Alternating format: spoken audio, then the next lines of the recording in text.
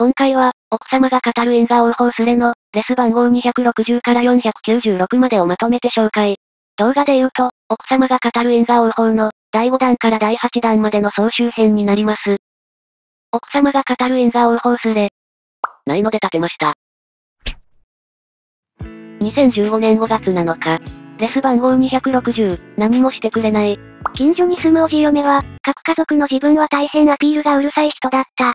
と田舎だから大半の主婦は、親と同居して共働きしながら、休みの日には農作業をして地域の付き合いをこなすのが当たり前の地域。サラリーマン次男の嫁で、各家族で農作業もせずにパートだけで住むおじ嫁は、あくまでうちの地域で見ればだけど、主婦としてかなり楽な立場。なのに、地区の役員を決めるときに、皆さんは親と同居してるから楽だろうけど、うちは各家族で子育ても忙しいから役員はできない。と言い放って、同年代の主婦たちからかなり反感を買ったこともあるらしい。おじ嫁からすれば、夫の実家である我が家に対してもやたらと、本家は何もしてくれない。と言って祖母を怒らせたことがある。金銭の援助はあまりできないから、家を建てるときはうちの山から材木を切り出して、材料費が浮くように協力した。大工へのお茶出しも、おじ嫁は仕事が休めないというから、自分と長男嫁が毎日10時と3時のお茶を準備した。それなのに何もしてないと言われるのは納得いかないし、そんなに親からの援助が欲しいなら自分の実家に頼め。と祖母に言われた場面をよく覚えてる。そしたらおじ嫁が、うちは父が早くに死んで貧乏なのご存知でしょう？と、涙ぐんでうつむいた姿を子供ながらに、なんで自分がわがまま言いたい放題しといて被害者ぶるの？と不思議に思ってた。それから時間は流れ、おじ夫婦の息子が結婚したんだけど、お嫁さんはおじ嫁と似たタイプみたい。おじはすでに亡くなってるから、姑に当たるおじ嫁に、孫にあれ買って、これのお金出して、と要求の嵐だ。と愚痴ってた。断ったら、孫に何もしてくれないのか、と泣かれて本当に困る。という、おじ嫁についうっかり、ガツンと怒ればいいじゃない。おばさんもばあちゃんに、何もしてくれないって何回も言って、自分の実家に援助してもらえって怒られたら黙ったじゃないの。と言ったら、おじ嫁はすごい顔してたけど、他のおじおばたちが、そうだそうだ。ってうんうんうなずくのを見たら黙り込んでた。他の話から見れば小さいことだけど、自分がこれまで義実家を、何もしてくれない。と理不尽に下げてきた分だけ、これからは息子の嫁から自分が理不尽に下げられてください。ああ、私のおばも同じことしてる。家に親が来れば、私たちに構わないで。遠慮していかなければ、お兄さんだけ可愛がって、差別が、もうなんかの病気？ってくらい自分本位だった。今では息子夫婦に振り回されてるよ。嫁のせいでムチコタンが冷たい、とか言って嫁と仲悪いし、そのせいで愛しの子供には愛想つかされてる。自分の家族の見上げしてきた親を見てきたんだから、子供もそう育つに決まってるじゃん。なんかもう自分はそうならないってなんで思えるのか。2015年5月11日、レス番号263、同人誌。知人 A は、独身時代に青いな同人誌を作っていた。それはゲームやアニメのキャラが対象ではなくて、実在するアイドルを勝手にホモ設定にして、メンバー同士で乳繰り合ってるみたいな話ばかりで、その後本人やら家族やらが読んだら気持ち悪いだろうなこれ、な本ばっかりだった。月日は流れて彼女は結婚し、一人息子が生まれ健やかに育ったが、先日、自分がホモであることをカミングアウトしてきたそうで、このままじゃ孫ができない。家計が途絶える。と彼女は発狂しているが、よその息子さんたちを勝手にホモにした本で荒稼ぎしてきた因果応報じゃね？とこそっと思ってしまった。区は2次元に限らない。3次元で活動する人も多い。生物紐のジャンルか。ガオー、ガオー。因果応報です。集中中。2015年5月30日。レス番号270、ボスママ。旦那とコンビニを経営してた近所のボスママ。彼女から、バイトの女の子に嫌がらせをし、首にした話を自慢されたことがある。仕事やミスの押し付け、1日3時間ほどサービス残業の強要などした挙句、ある日突然シフトを削除。理由は、自分がバイトの男子高生とホテルから出てきたのを目撃されたから。くだらなすぎてドン引きだったけど、共感しないと逆ギレされかねないから適当に流した。数年後、コンビニはライバル店のオープンと立地の悪さで客が減ったせいか、閉店。その後ボスママを見かけない時期があったけど、最近市役所で再開。骨と皮だけの体に化粧っ気のないしわくちゃな顔で、40代後半なのに20歳くらい老けてた。鬱になって無職らしく、愚痴を聞かされた。どうやら、市内の老人ホームで介護の仕事を始めたんだけど、先輩の中に首にした子がいたそうだ。隠し撮りされた不倫写真をばらまかれ、過去の所要も暴露されたため、職員たちからいじめの対象に。女の子が主犯だけど、理事長の親族だから誰も止めない。写真は自宅にも送られ、離婚された。仕事も居づらくなってすぐに退職。一連の出来事に対して、あいつのせいで人生狂わされた。恩をあだで返すなんて。と恨みつらみ。まさに因果応報。不倫バレは自業自得なのに。私の店なんだから、バイト辞めさせるのはこっちの自由。なんて言ってるから、立場が逆転した瞬間痛い目に遭うんだと思う。なんとなく、コンビニの閉店もバイトの女の子が関わってるか、他の意地悪された誰かが噂振りまいたとかのせいな気がする。因果応報。コンビニってさ、チェーンとはいえオーナーの質が如実に出るよね。オーナーがクソだと店員もやる気がないし、店全体がどんよりして暗いんだよ。清掃も手入れもいい加減だから、年数経つと店そのものが小汚くなる。近いから仕方なく使うけど、他に店できたらそっち行くよ。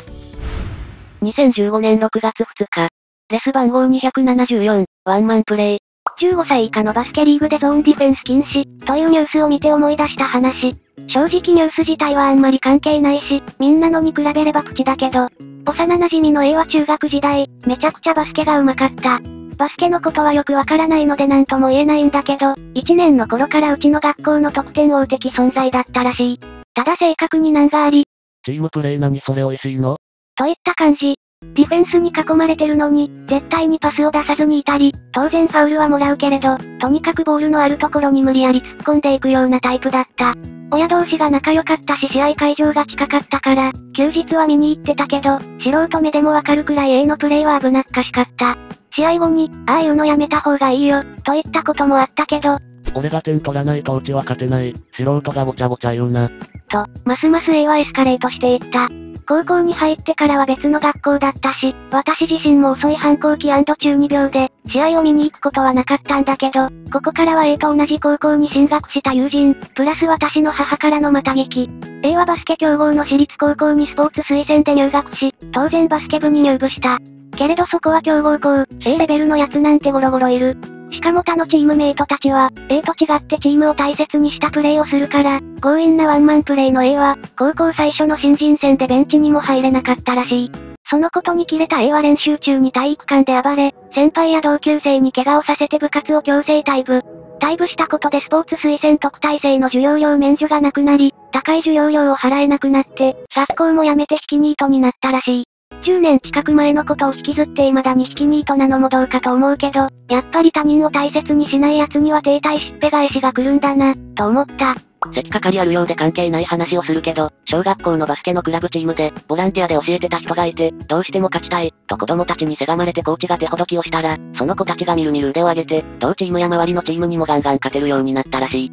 何をしたかというと、本来なら中学高校に上がってから覚えるような高度なテクニックを、特訓して覚えさせただけ。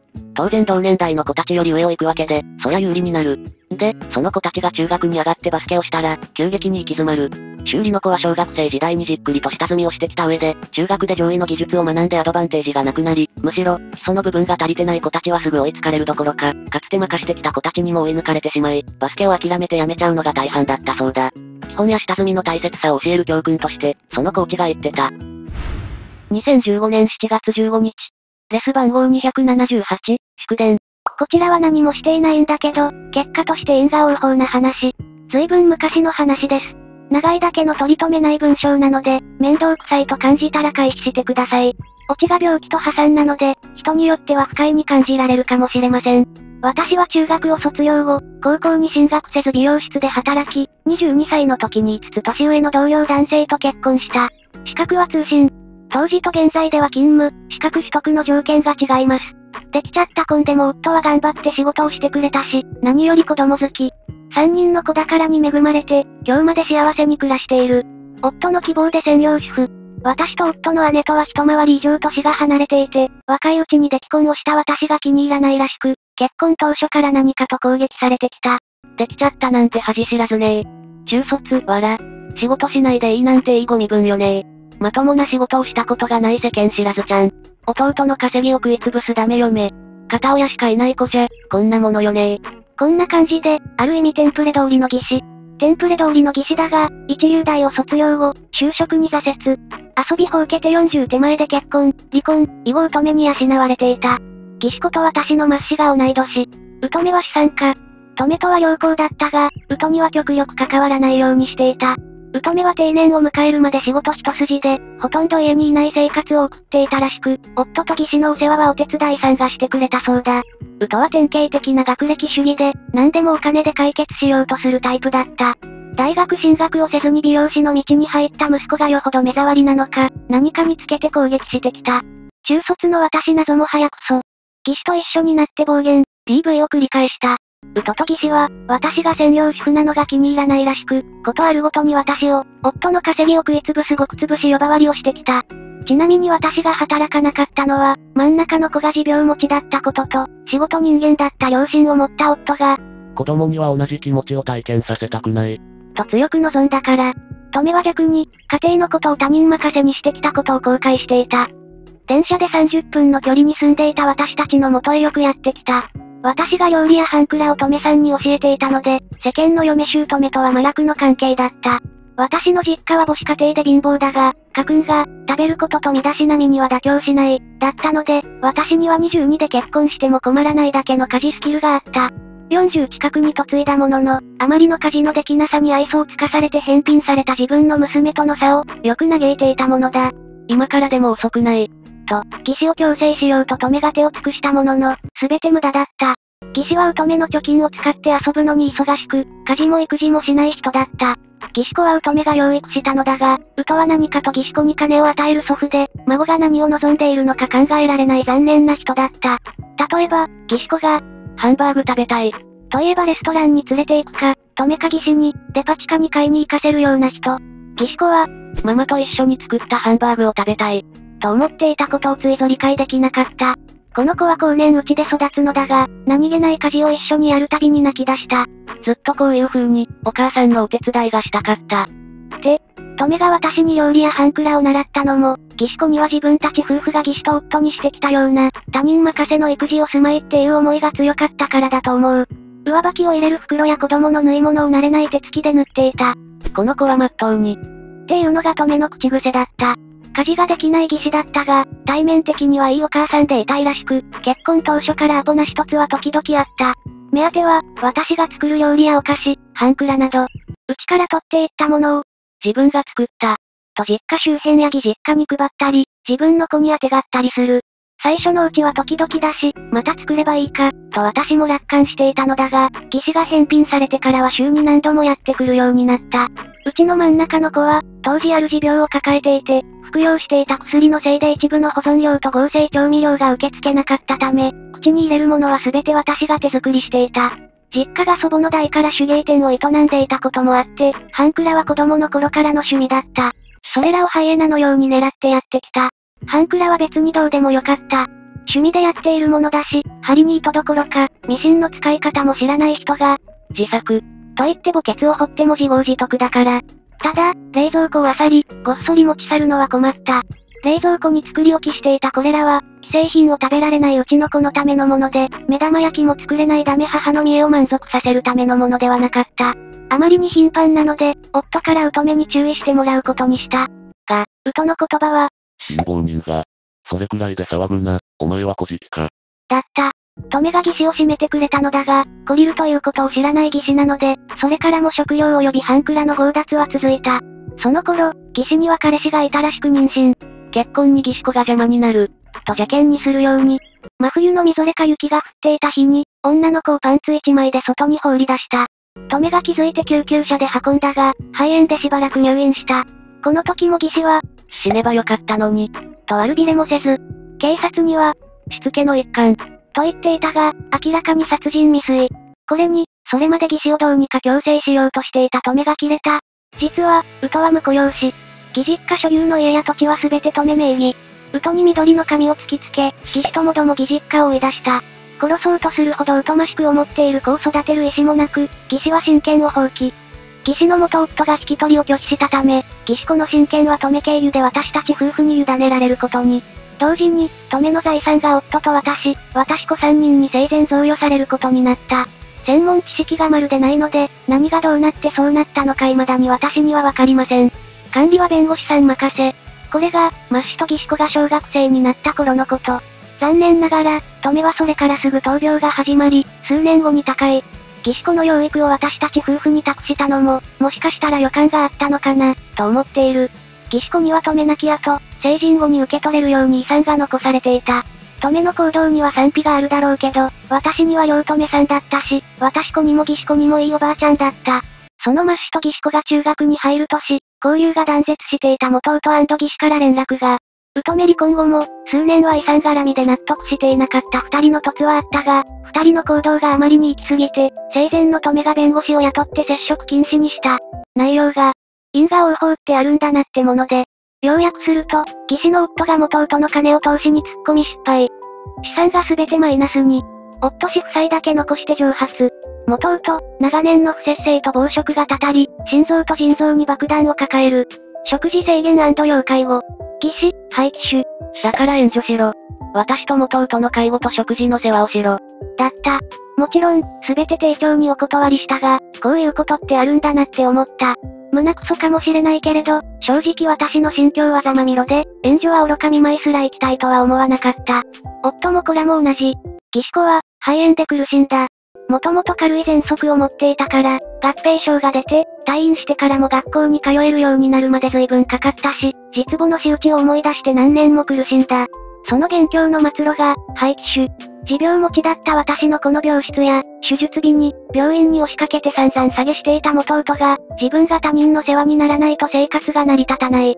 散々、私たち家族を、古事記。って呼んでおきながら、今度は自分たちが物乞いをする羽目に、自分たちの行いが、そっくりそのまま帰ってきた。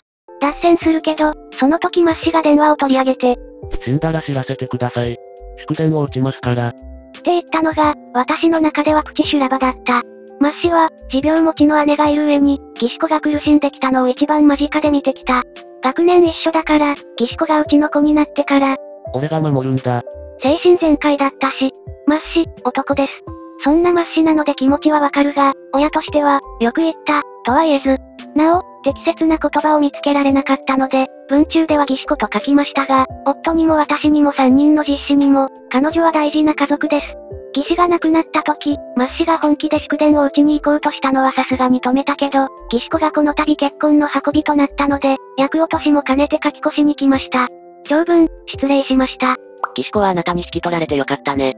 おかしな母と祖父のせいで、不幸に巻き込まれていてもおかしくない。義士が亡くなった時、マッシが本気で祝電を打ちに行こうとした。娘さんもいろんな思いを抱えて義士子と接していたと思うよ。結婚して幸せになってほしい。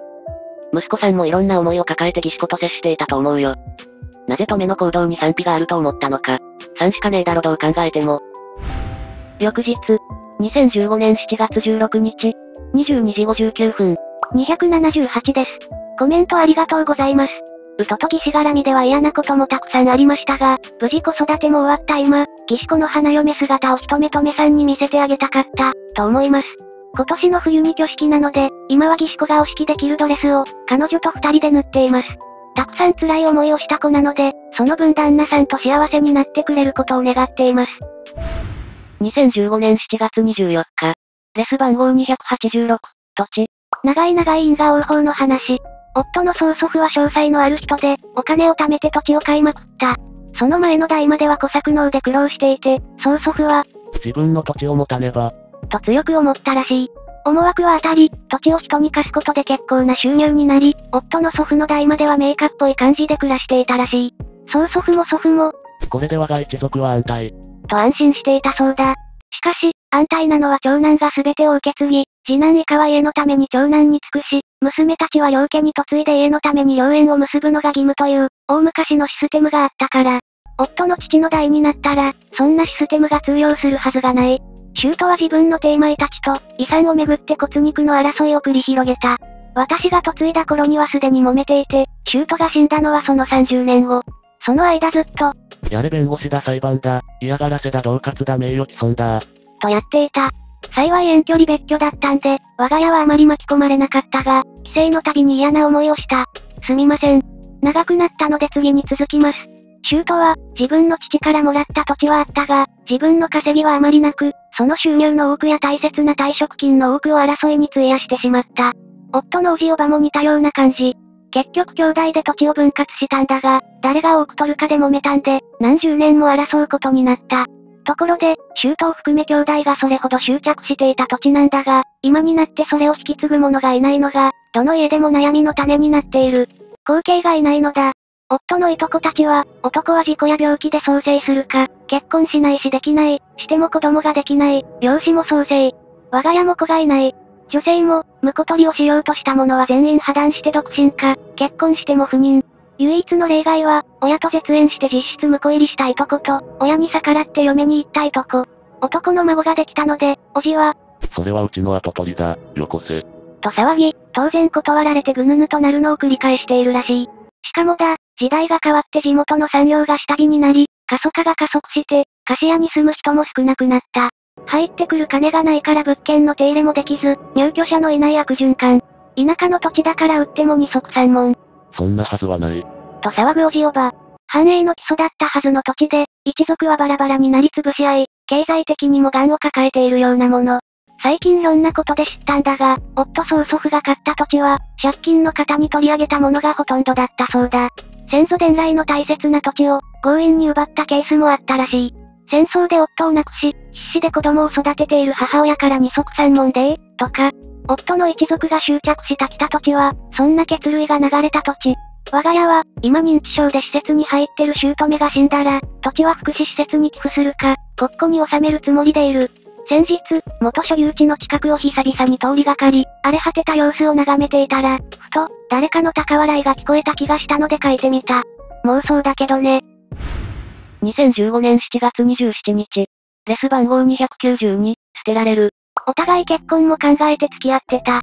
将来についてもこういう家に住みたいとか、こんな環境がいいとか、二人でよく話してた。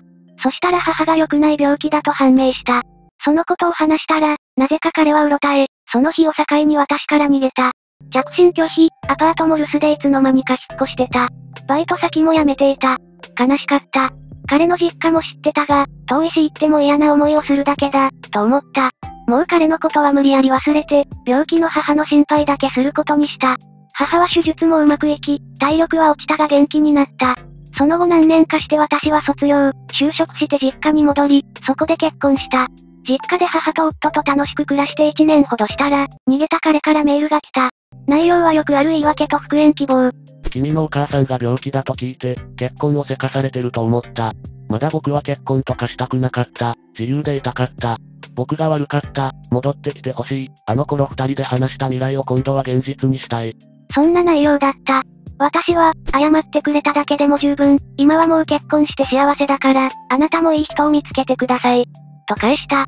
そしたら、別れて戻ってきて、その男よりも僕の方が幸せにできる。どこそこに今住んでるから待ってる。と帰ってきた。もう逃げた彼に未練はないし、仮にあったとしても無理。既婚なのにそんなわけにいかない。真面目にお断りの返事をしていたが、返信のメールがすぐ来る。何か焦ってるような雰囲気だった。それで、逃げた彼が SNS とかやってないか調べた。調べた時はわからなかったけど、その後別口で偶然何があったか判明した。私も面識がある彼の友達の SNS から、彼の母親が地方になってたと分かった。介護が大変で彼女にも逃げられたとのことだった。結婚まで考えてた彼女に、難病の母親がいるからと捨てるからこうなった。因果応報。と書かれてた。その友達は、逃げた彼が、あいつも母親が死んで寂しいだろうから、俺の母の面倒を見てもらいたい、親孝行させてやりたい、とか言ってた。と呆れてた。その書き込みに彼が文句をつけたらしく、しばらくしてアカウントごと削除されてた。もう、溜まってた彼からのメールに目を通す気も失せた。あまり使ってないキャリアメールだったから、アドレスごと変更した。終わり。捨てら捨てられる。まさに因果応報。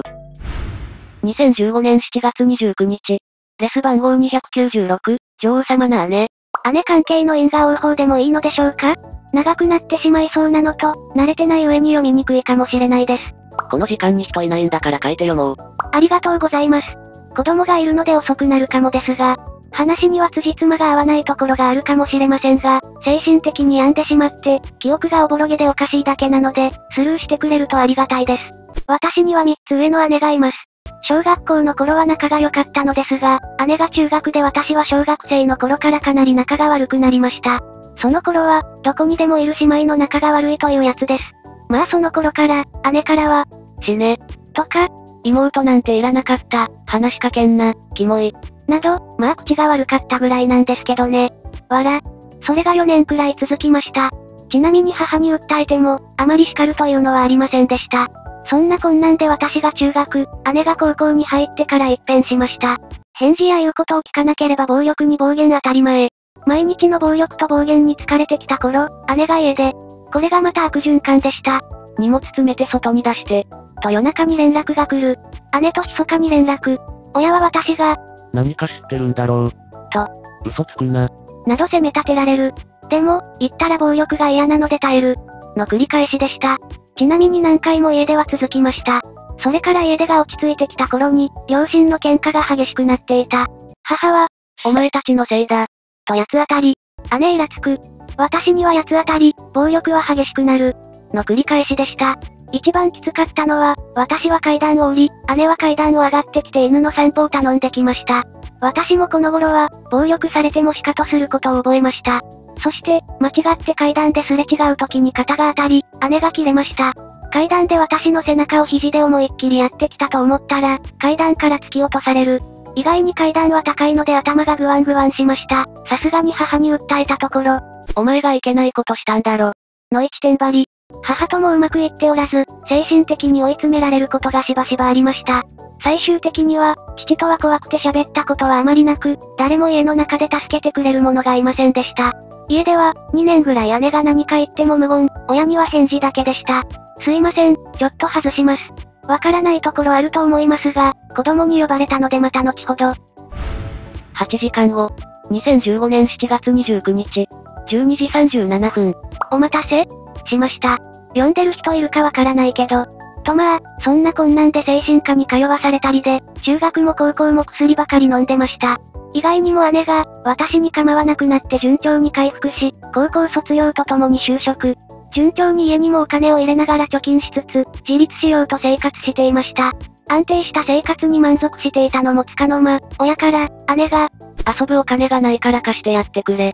と頼まれ貸しました。これが間違いでした。姉はちゃんと働いてるし、私より給料はいいです。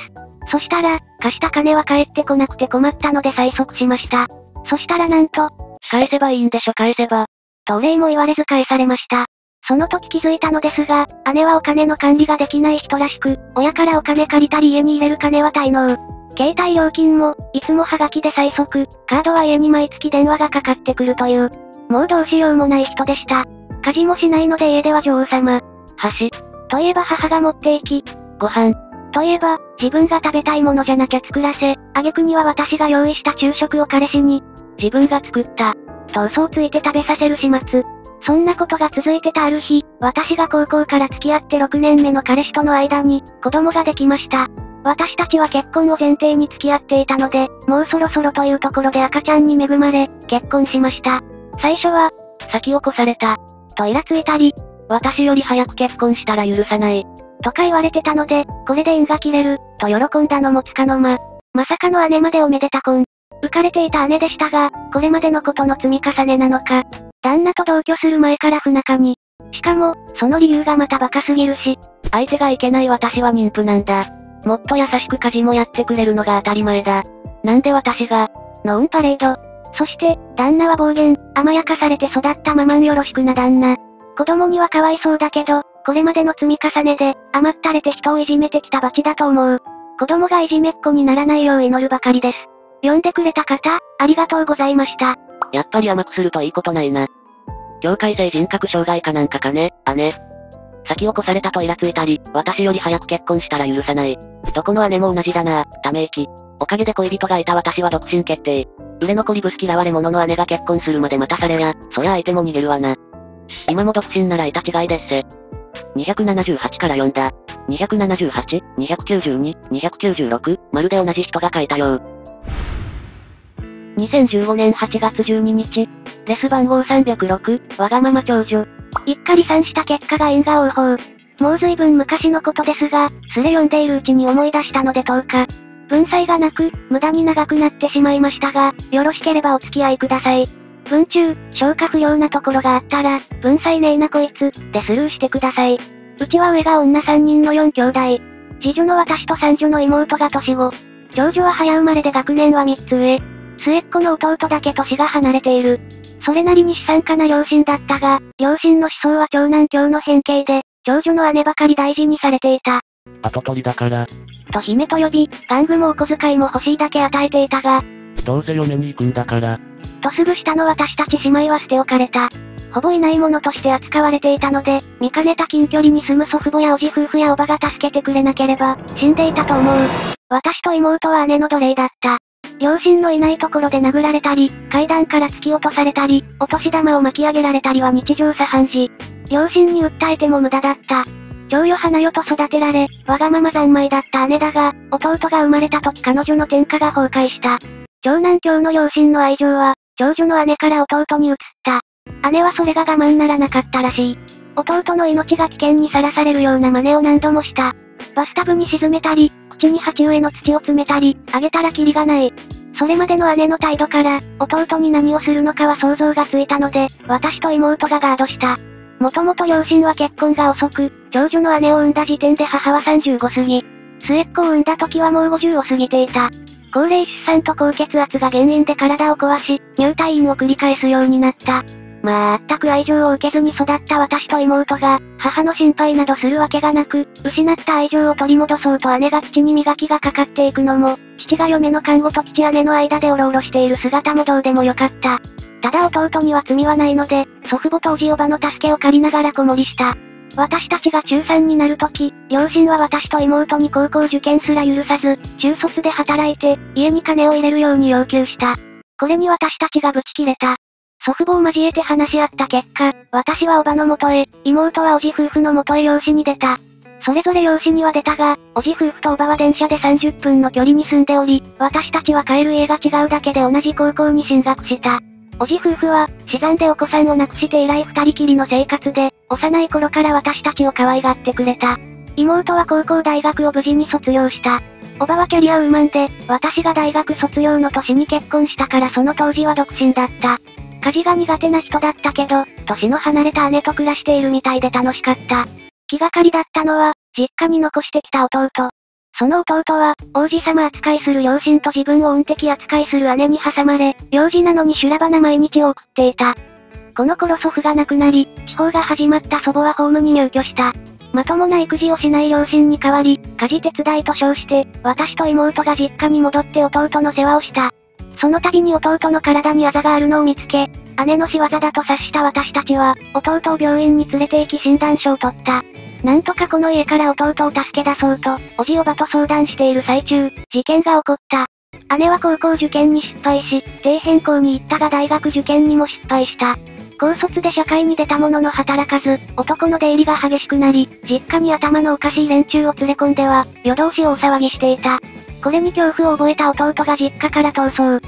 夜道を自転車でかっ飛ばして迷子、交番で保護、おじ夫婦の元へ連絡、無事保護。幼稚園の男の子が補助輪のついた自転車で逃げ出すくらいだから、実家が相当怖かったんだと思う。姉一味は弟にしつけと称した暴行を加えており、両親は知っていたが見て見ぬふり。姉のいないところでは猫可愛がりをしていたが、年齢的に姉と力関係が逆転。逆らうと姉一味の暴力が両親に向けられるから。おじの元へ警察から連絡が行ったのは、何かあったらおじに連絡するよう私たちがしつけていたため。この一件で、おじが法的手段に訴えた。先に少し触れたけど、おじ夫婦は実子を死産で亡くした経緯がある。元気に生まれてきた子供を殺しかねない私両親は、おじ夫婦にとって鬼畜にしか見えなかった。私たちが病院で取っていた診断書と、弟の体に残されていたタバコを押し付けた後と、ご近所の証言で日常的に虐待が行われていると証明された。姉一味の大騒ぎと、弟の悲鳴じみた声を何度も聞いており、警察にも何度か相談が入っていたらしい。両親と姉は不起訴にこそなったが、裁判所は弟が叔父の養子になることを認めてくれた。とはいえ、長男教の両親がそうやすやす弟を諦めるはずもなく、私たちが大学進学で地元を離れた後何度も、うちの後取り返せ手とつかましたらしい。接触禁止になっても諦めない根性だけは立派だが、弟にとっては災難でしかなかったと思う。そもそも弟からすれば、両親は、長女の暴力が自分たちに及ぶのを恐れて自分を瞳悟空にした上に、猫可愛がりするだけで基本的なしつけすらしていなかった。食事は全部手づかみか犬食い、歯磨きって何？の状態を、私と妹がどうにか強制。おじ夫婦の元に養子になってからは、おじ夫婦が教えてくれた。両親絡みのいざこざは多々あったが、おじ夫婦は弟を実子として育ててくれた。先に養子に入った妹だけでなく、私にも本当によくしてくれた。それから時が流れて、私たちはそれぞれ地元を離れて所帯を持った。今でもお互いの交流がある。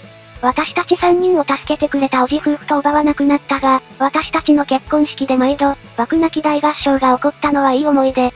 おじとおばが爆泣き、同時多発もらい泣き、会場中で爆泣きの大合唱。3人とも、子供が生まれるたびに熱狂して喜んでくれた。私たちの子もじいちゃんとばあちゃんが大好きだった。一方の実両親と姉は因果応報の真っ最中。絶縁しているので、詳細は不明。顔を合わせたのは親族の冠婚葬祭のみなので、推察も混じって時事列があやふやな面がありますが、流れとしては以下の通り。姉は結婚と離婚を繰り返し、罰がつくたびに子供が増えたものの全員姉のひな形。私たちに暴力を振るっていた姉は、野生化した姉子たちの暴力を受けるようになったとか。そのストレスを、姉は父母に暴力という形で発散していたらしい。父しかいない家なので近隣からも孤立し、叫びたりになった父はよって冬の公園で投資した。私たち3人にも連絡が来たが、誰も参列せず。この直後から母と姉が SOS を送ってきたが、全員スルー。私と妹は気が強い上に、3倍返し上等なので、あのね、もしよかったら、程度だったが、弟には相当粘着した。長男今日の名残 ?SOS の内容は、金の無心と自分たちの老後の世話。今まで一度も働いたことのない姉は、離婚の度に慰謝料をむしられ、両親の資産がそれに消えた。おかげで母はホームにも入れず、自分の年金を吸い取る姉と姉子の暴力に怯えながら、実家で暮らしている。哀れっぽく同情を誘うようなことを顔を合わせるたびに言うけど、なんで助けてもらえると思うんだろう。父の考えは理解不能だ。祖父の法要の際に、姉が高価な切り声で叫んだ。兄弟なんだから助け合うべきでしょう。援助させてやるって。以下言語崩壊。それを言われた弟は、集団で暴行された挙句に、補助輪のついた自転車で夜中に逃げ出したこの成長図なわけだが、もう幼稚園児ではないし、30過ぎの親父だ。母はもう80過ぎ。私たち3人は、地元から飛行機の距離に今日構えているし、連絡の窓口は携帯だけで親族は誰も住所を知らない。教える気もない。実の母親に冷酷な仕打ちかもしれないけど、私も妹も弟も、自分たちの家族を守ることの方が大事。万が一にでも居所を知られて、自分の夫や妻、子供に実害が及んだら、と思うといくらでも鬼になれる。そんな私たちだけど、おじ夫婦とおばの葬儀の時は棺にすがって泣いた。実の父親の訃報には、あっそう、だったけど。つまらない話を長々としましたが、ここまで読んでくださった方がいたらありがとう。文才なくて長くなってごめんなさい。実望を見捨てた非道な話なので、周囲には漏らせずここで吐き出させてもらいました。不快になった方がいたら申し訳ない。実に長女らしい暴君ぶりと末路。わかるようちの姉もこんなんだ。2015年8月15日。レス番号311、元ヤンママ。因果応報かわからないけどこちらに。この辺りはちょっと田舎なもんで、近所には同じ幼稚園に通う子供が多かった。その中に、A さんが17の時に生まれた子の、A 息子がいた。A さん妊娠結婚と同時に旦那の実家で同居。そんな A さんは自分で元ヤンというだけあって、口が悪い悪い。でも口は悪いけど人の悪口は絶対に言わない。聞いたことない。同居してる姑と全力でぶつかるけど、ばあちゃんと私は口から生まれたんかっちゅうくらい口が減らん。ばあちゃん、夕飯は筑前煮にして、筑前煮はばあちゃんの方がうまいから。ってな中、姑さんも、まったく、若いから口が回るのも早いわ。と言いながら息子家族を見守る感じ。私はそんな A さんやその家族が好きだったし、A 息子もいつもニコニコしてるいい子だったから、仲良くしてくれて感謝すらしてた。でも、やはり若くして結婚出産に元ヤンという理由で、A さんを避ける人は結構いた。付き合うのやめな。と言ってくる人すらいたし、A さんは言わなかったけど、直接 A さんにあれこれ言ってくる人もいたみたい。子供が言葉を理解し出す前にと、自分の言葉遣いを意識し始めた A さんがある時、息子が他の子と違う気がする。と言ってきた。やたらと没頭しすぎる、友達とうまく遊んでない。言葉や理解が遅い。と、姑さんに相談すると、他人が言ってくれる大丈夫よりも、母親が感じるほんの少しの違和感を信じろ。と言われ、電車で1時間近くかかる都心の病院に何度も足を運び、その結果は発達障害。今みたいに、各地域に発達支援のデイサービスなんてなかったから、毎週のように、療育に通ってた。療育がない日は変わらずうちのことも遊んでくれた。それを知った意地悪ママの悪子さんが、ええ息子くんは数字わかるの？うちはもう関数字も読めるよ。あ、なんかごめん。みたいな言い方。私が思わず、だからなんなのさ、何に対するごめんなのか意味不明、といった記憶がある。A さんはそんなのスルーで、A 息子から得意分野である電車について真剣に学ぶ。私は高校も出てないし、息子に教えられるのは上下関係や挨拶や、人から馬鹿にされても人を馬鹿にするなとか、自分が誰かより優れてる部分があったとしても、謙虚に受け止めろってことだけ。あとは全部追い越されたよ。身長は割と早い段階で、下の子の泣き止ませ方もあの子の勝ち。わら。と言っていたのが印象的だった。そして迎えた高校受験、A 息子は地元の進学校に合格。A さん一目もはばからず合格発表で号泣。おかげさまでうちの子も合格だったので、今までのいろんなことを思い出してしまい、子供ほったらかして、二人でワンワン泣いた。で、悪子の娘は、地元でも恥ずかしいから履歴書に書けないと言われるバカ高校に、めでたく合格。この子も親に似て、自称はっきり言える性格が長所だったから、思春期を迎える頃には周りから煙たがれて、立派なぼっちになってた。化粧もしないし、髪をいつも一本にまとめるだけで、制服の着方なんかもすごく地味な子だったので。パッと見は勉強できそうなのに見かけ倒しと言われてた。当地の子に聞いた。高校が別々になってからというもの、A さんは悪子にあってもダッシュで逃げられるようになったそうだ。昔はダッシュで近寄られてたのに。その後は、悪子の旦那さんが勤める会社が、A さん旦那が社長を務める会社に取引を切られて、その原因を作った悪子旦那がクビになったらしい。なんか書いてたら思った以上にダラダラになってしまったし、因果応報とも違うかもしれないと気づいたけど、この度 A さんが44歳でおばあちゃんになるのに免じて、許していただきたい。許す。悪子は優越感を得たいだけなんだよね。今頃違う人に近寄ってるかも。2015年8月23日。レス番号315、やりたい放題女。既婚者の、前の職場の人。気に入らない人を首に追い込む。捏造クレーム、細かい上げ足取り、時間や業務の強制変更。いろんな方法でたくさんの人をクビにしてきた。理由もおかしい。自分の愛人が気に入ってる可愛い女、自分より仕事ができる人、自分より知識や資格があり発言権のある人、そういった人たちをどんどんと辞めさせていった。結果、人員が減り会社が回らなくなった。社長が慌てて、息を潜めてた人や辞めてしまった人たちに連絡取って、状況を聞いた。辞めてしまった人たちに復職するよう頼んだら、彼女を解雇するなら、の条件で戻る。と。解雇になりました。その後、会社に残りたい愛人には捨てられ、子供の部活関係の親にも噂でバレ、孤独な生活をしてるそう。夫にバレるのはいつかな ?2015 年9月11日。レス番号316、キープ。自分の行動の結果で人生が変わるって意味で、ある意味因果応報だなと思った件。高校からの友人である智子には、学生時代からの付き合いの彼氏がいた。この彼氏が、高卒のいわゆるドキュンで、ギャンブル好きで若干モラハラの毛がある。それを延々愚痴りながら、でも別れずぐずぐず付き合う智子。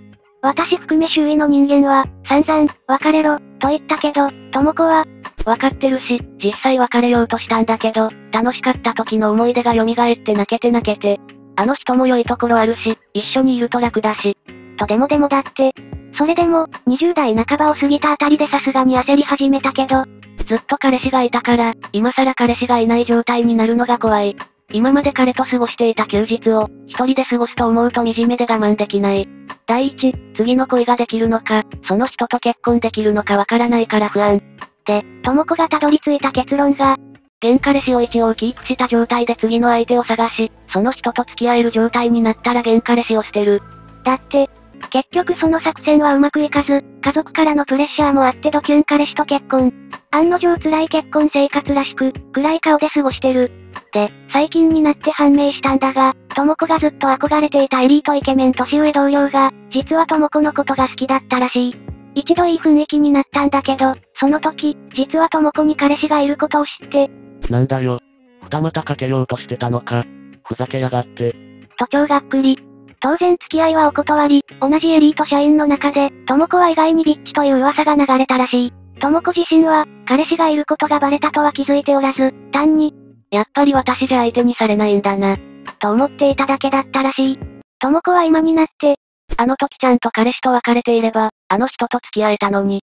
と悔やみまくっている。さらには、でも、キープしてるとはいえ、あの頃は1もしてなかったから、実質フリーだったのに。次の恋が始まったらちゃんと綺麗に別れるつもりだったのに、二股とか、ビッチ扱いなんてひどくない？とか言っていた。とも子はこういうところはバカだけど、割と人柄はいいし仕事も家事もよくできる。本当に、あの時エリート彼氏と付き合えれば、今頃は幸せな生活ができてたろうな。バカ旦那と義実家に搾取されてる智子を見てると、少し悲しくなるけど、でもまあ、キープ二股したのも、諦めてクズ彼氏と結婚したのも智子の決断だし、人生って自分の行為の結果だから仕方ないかとも思うわ。2015年9月14日。レス番号317、ストーキング。街中で昔私をいじめた女発見。勤め先潰れて暇だった、アンドイン打つモードだった私、即ストーキング。写真や動画も撮りまくり。入ったショップもチェック、買ったものもなるべく確認、後日同じものを購入。住所も判明、これまた後日、郵便受けに刺さってた封書抜き取って、名前も確認。やっぱりいじめた女で間違いなし。ふひひ、撮った写真や買ったもので、いろいろいたずらしまくってやる。それから勤め先も調べ上げ、募集かかってたのでついでにアルバイトで入社。これで調査もはかどるし、お金も稼げて一石二鳥。しかも、仕事もなんか向いてるのか楽しくて、必死で頑張って社員登用された。嬉しい。チーフ昇格、店長になったら責任も倍増。すごく忙しくて毎日家帰ったら即寝。気がついたら、ヘルプの後輩社員と良い仲になって、お付き合いを社長に報告。社長喜んで。好きには呼んで。もちろんです。結婚しても仕事続けて、新規事業立ち上げて、お店オープンして、古いお店潰して。そんなことをしてたら、いつの間にかいじめた女が辞めてた。いじめ女、当初は私に気づいてなかったが、招待客ではないが、同僚社員との結婚で私がいじめた相手だと気づいたらしい。それから陰で私をディスってたが、大半の人に相手にされず、逆に注意されたり、フェードアウトされたり。腹が立ったのか、ついに昔のガラケー引っ張り出してきて、仲の良い社員に私の写真を見せたそうだ。人間椅子にされてたり、スカート剥ぎ取られてパンツ一丁にされてたりしたやつ。仲の良い社員、昔似たような目にあったことがあるそうで、いじめ女を裏切って転送された写真とともに社長に、密かにご中心。結果、いじめ女は社長によって、会社的には僻地である場所に一般スタッフとして赴任。この移動事例はイレギュラーなので、私は当初知らなかった。数ヶ月後には辞めちゃってた。何かするまでもなく結果的に、復讐になってしまった？これって因果応報かな？あ、あと、撮った写真と動画は後に削除。買ったものに罪はないので、匿名でいじめ女の家に送っておいた。因果応報というか、自業自得、墓穴って感じかな。2015年9月20日。レス番号320、いじめ肯定。いじめ加害者はもちろん、いじめ肯定、加害者擁護派も、発想がおかしいせいか変なことになる気がする。7、8年近く前、職場で当時あったいじめ自殺の話題になり、何人かの、子持ちの先輩が、自分の子がもしいじめに関わってしまったら、被害者より加害者である方がマシ。いじめられるくらいならいじめている方が安心できる。と言っていてドン引きした。当時は未婚子なしだったから、母親としては我が子を亡くすよりは、たとえ悪者としても生きていてほしいということかしら、と無理に好意的に考えてみたけど、親として、そこはいじめ自体否定するべきではないのかい？ともやもやしていた。その後、いじめ肯定していたうちの一人、A さんの息子は友達数人と空き地でボール遊びしていて、近所の家のガラス窓を割ってしまうが、その場にいた友達は、全員 A さん息子一人に罪をすりつけてしまった。友達親たちも全員で結託して、悪いのは A さん息子だけでうちは関係ない。の一点張り。それから息子さんは不登校になり、A さんも同居乙女や旦那に色々言われて、抗うつ剤や睡眠薬飲むようになり、やがてやめていった。同じく肯定していた B さんも、息子を地元一番の進学校に入れたものの、いじめではなく家庭の悩みかららしいが、その学校で自殺事件があり、誠しやかに、本当は B さん息子が原因との噂が流れて孤立、成績が落ち、進学どころか進級も危うく、独り言や気候も増えて、さらに遠巻きにされたとか。当時すでに B さんは退職済みで、この話は、B さん息子と同じ学校で違うクラスの息子がいる他の先輩から聞いた。C さんの保育園児の娘さんも、チックショーで髪の毛やまつげをむしり取ったり、爪髪皮むしりがあって、本人も脅迫観念みたいなことになり退職。同時期の話ではないから因果関係はないだろうけど、ものの見事に、あの時、加害者のがまし。と言っていた人ばかりだ。そういった思考が子供に影響したんだろうね。マザー・テレサの、思考は気をつけなさい。それは言葉に出るから、のこの一行目を目撃したわけだ。そして最終用の、運命になるから、も聞いたわけだ。ほんと、因果応報だね。そういった思考が子供に影響したんだろうね。これだね。子供は環境で変わる、親は関係ない、という人増えてきてるけど、やはり影響は大きい。2015年9月23日。レス番号323、子供嫌い。職場の上司に、家が近く、よく通勤電車や街で会う人がいた。この上司はまた腹は当たり前で、泣いてる赤ちゃんを罵倒したり、子供が乗ってるベビーカーを蹴ったこともあるほど、乳幼児やその母親、妊婦を目の敵にしてた。一緒にいる同僚や部下が止めても逆ギレするくせに、居合わせた高齢者、特におじいさんに咎められると黙る。今思えば、母親や妊婦がおとなしそうで、旦那を連れてない場合に攻撃することが多かった気がする。確かに、年金制度の維持や納税者の確保に必要な存在だけど、子供や子連れ自体は社会の迷惑。別に、数ヶ月で成長するならいてもいいけど。とさえ言い切ったこともある。それも、子供が生まれたばかりの部下がいる場で皆ドン引き。自分が迷惑をかけず、大人の都合通りに育ったとでも思ってるのかよ。今上司は家族から見捨てられてる。娘とは自分だけ連絡がつかず、孫の顔も見せてもらえないことを以前から愚痴ってた。妻からは離婚を迫られた。息子にすがりつくも。俺はあんたの、今後の保証として生まれたんじゃない。と吐き捨てたきり、病室に来ないらしい。今までの言動からして、ろくな父親、夫じゃなさそうだし、まあ当然の結果だろう。そもそも、なぜ家庭を持ったのか不思議だ。独身かと思ったら子供いるのかい。まさに因果応報だね。妊婦に厳しいサラリーマンに会ったことあるけど、見てて本当に不快だったわ。因果応報話は、リアルはそうでもないけど、ネットだと肯定派もいる反面、それを因果応報だと思う報告者も見にくい、相手だって事情があるのに、と叩かれることが多い気がする。でもさあせん、自分はざまーとか、当然の報いとしか思わん。2015年10月26日。レス番号328、事務員。私の場合、自分が不愉快に思うことをした人が痛い目を見れば、ざまあって思うけど、自分がした心当たりのあることで痛い目見てる人の話は、無意識に擁護したくなるっていう気持ちがある。そんな自分の因果応報は、高速で就職した食品製造業の会社で、事務員がネットと電話ばっかりして、ちゃんと仕事しないって決めつけて悪く言ってたこと。そして、10年近く経った現在は、逆の立場で悪く言われたこと。もともとベテランのおばさんたちが悪く言ってたから、それを鵜呑みにしてたし、あんなに不真面目なら、製造ラインの現場の仕事もろくにできないだろう、と深く考えずに決めつけてかかってた。実際はそんなことなくて、現場が間に合わない時にその事務員がラインに入ると、早くて正確に作業するからびっくりしたけど、それも後からベテラン社員たちが、半日だから張り切ってできたんだ。私たちみたいに毎日やり続けるのは無理。というのを信じてた。正直、就職から半年以上同じ作業をして慣れてきた私より、普段違う仕事をしてる事務員の方が早くて正確なのが、許せなかったんだと思う。それから時は流れて、結婚を機に退職して遠くに引っ越して、専業主婦してた頃に簿記を勉強した。子供が大きくなって、事務パートで見つけた職場が、偶然独身時代と同じような食品製造用の会社。そこで通販部門に配属されたら、3人で手分けしてるのに、気がついたら1日電話のやり取りだけで終わってることも少なくない。なのに製造部門の若い子が、通販部門は座って喋ってるだけだから、楽で羨ましい。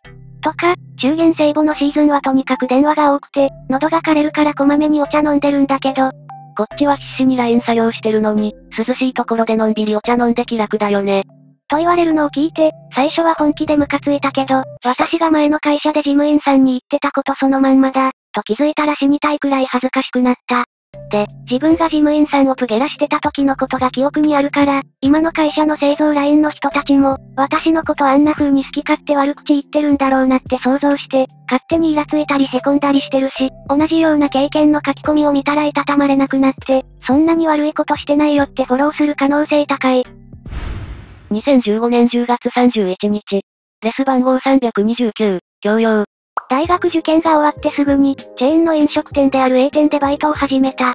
これが初めてのバイトだった。そこの成人スタッフはほぼ全員喫煙者で、未成年でも高校生以外は普通に吸ってた。私も19歳になると、店長から、吸いなよ。あと1年で20歳だからいいじゃん。と火をつけたタバコを渡された。吸ったら喘息が悪化するので、申し訳ないんですが、喘息持ちなんで、と断ったら、舌打ちされた。その場にいたオーナーからも、職場での付き合いを断るなんて仕事舐めてんの？って言われた。それ以来シフトを減らされ、最終的に、協調性がないという理由でクビになった。その月の給料が支払われなかったので、親のアドバイスで労基署に相談したら、支払われた。その後は、別の飲食店である B 店で約3年働いたが、数名のバイトとは今も親交がある。大学卒業後は一人暮らしをしたが、今年帰省した時に、友人や家族から聞いた話が衝撃的だった。友人曰く、A 店はフランチャイズチェーン契約を切られ、直営店になったらしい。友人は本社採用の社員。つまり、オーナーと店長は失職したことになる。クレームのファックスを読まずに捨てさせたり、消費期限の改ざんさせたり、街で何度も見かけたが、配達の再スピード違反をするような店舗だから仕方ない。家族からは、去年店長の自宅が夜中に全焼した。と聞いた。子供と奥さんの母親は亡くなり、奴と奥さんは助かったが火傷を負った。出火原因は奴のタバコの不始末で、夫婦は離婚。林家にも燃え移り、損害賠償を求められている。実家から割と近い場所で起こったから、この話はすぐ耳に入ったらしい。二人とも、他人に強要した行為で自滅していった。巻き込まれた人たちは気の毒だが、来月から B 店時代の仲間が、私の職場で働くことになったので書き子。余談だが、職場は今年から喫煙者の応募ができなくなった。漫画みたいな因果応報だ。2016年3月18日、レス番号335、余命ビリ。半ば吐き出し、余命ビリしていた母が、今は嫁にいびられていること。いびりにいびって追い出した余命は、私がこっそり協力して逃げ、余命に逃げられた兄は感情表現がどっと減り、ある時どこからか、妙な女の嫁 B を連れてきた。うちに来た時はすでに入籍してた。妙ってのは、ファッションとか態度とか一応普通っぽいんだけど、何かおかしい。よく見たら靴下が左右違うとか、急に、ハレルヤ。って小声で呟いたりとか、当然のように母が、不死だら、だの、変な女にたぶらかされて。だの叫んでたら、嫁 B に吹っ飛ばされた。嫁 B、普通体型なのに、バイはある母が襖まで吹っ飛んだ。何したかよくわからない、突き飛ばしたにしてはまっすぐ飛びすぎだし、びっくりしたけど、兄はまるで動じてなかった。お茶吸ってるだけ。それからは、毎日母は何かやるたびに、嫁 B にビンタされたり、腕ひねり上げられたり、一月もすれば母はおとなしくなった。私なら一日で降伏するけど、さすが母だな、と思った。兄に、お前が嫁 A ちゃん逃がしたんだよね？って聞かれて、私はその夜家を飛び出した。正直、毒親でもあったしろくでもない母だったけど、兄や嫁 B よりマシ？というか、わかりやすいだけ対応できた。あの二人はなんだか怖い。最後は、母ももう黙って座ってるだけだったし、私もああなるんじゃないかって。今は、逃げ込んだ先の付き合ってた人と入籍して、たまに、実家に電話してみてるんだけど、基本的に嫁 B しか出ない。たまに兄。母携帯は解約済み、兄スマホは100%出てくれない。母のことを聞くと、元気ですよ。と毎回同じ回答。生きてるのか？とたまに思うと、嫁 B はちょっとだけ母に変わる。エスパーか。死んだような母の声を聞くたびに、嫁 A さんはごく普通のいい人だったんだけどな大事にしてあげたらこんなことには、と思う。嫁 B はマジで超能力者だと思います。2016年4月3日。レス番号337、不倫。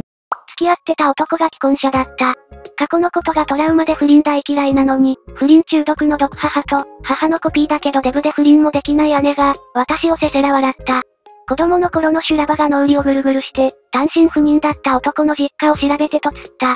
我ながら男にバレずによく調べたし、どの面下げてとつったと思う。実家というか本宅には、遊びに出ていくところだった奥さんと子供さん。お子さんがいないうち、と、玄関先で土下座して謝った。全部話して、できうる限りのお詫びをする、男とも別れる、申し訳ないと。奥さんは私を許してくれた。男は許されなかった。顔にあざとムチ打ちのカラー、あと指にも包帯巻いた姿で現れた。騙して申し訳ない、お詫びに。とお金を包まれた。孤児したが、どうしても。と必死で食い下がられた。奥さんに、絶対受け取ってもらえ。と言われたらしい。仕方なく受け取り、後日奥さん宛てに送った。男の怪我は奥さんにやられたそうだ。確かに奥さんはがっしりしてたし、男はひょろっとしてたけど。そんな奥さんが怖いけど、惚れているから離婚されるのはもっと怖い。という。なら不倫とかするなよ、と思った。結局男は離婚されなかったらしいけど、翌年交通事故で亡くなった。顔を出せた義理ではなかったので、お悔やみの言葉と香典だけ送った。最近姉が病気で入院したけど、タイミングよく毒母不倫相手の奥さんから慰謝料請求が来て、パニクってるらしい。直でせせら笑いたいけど、もうすぐ転職引っ越しだから我慢して、並走不運、で流してる。うお投稿するとこ間違えた。私独身ですごめんなさい。どんまい。私はあなたみたいな人が好きです。2016年4月7日。レス番号340、おつぼね。まさに今現在進行形の因果応報。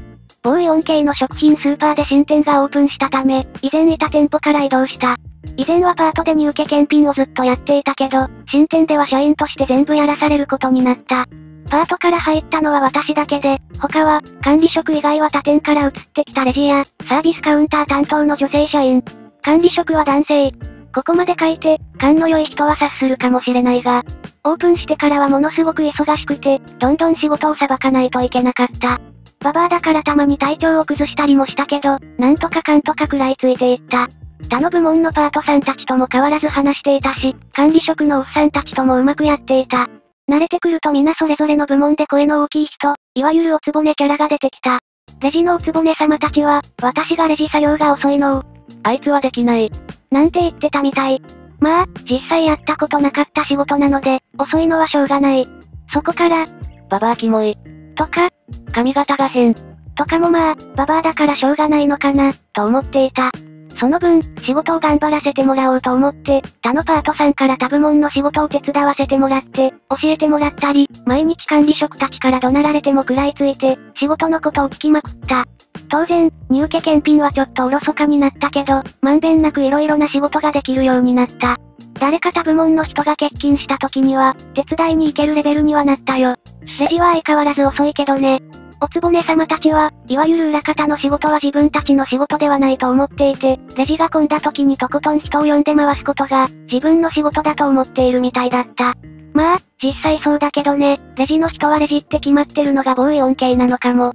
混んだ時は、どんなに商品が山積みで納品されても、あのババアは裏で暇してる。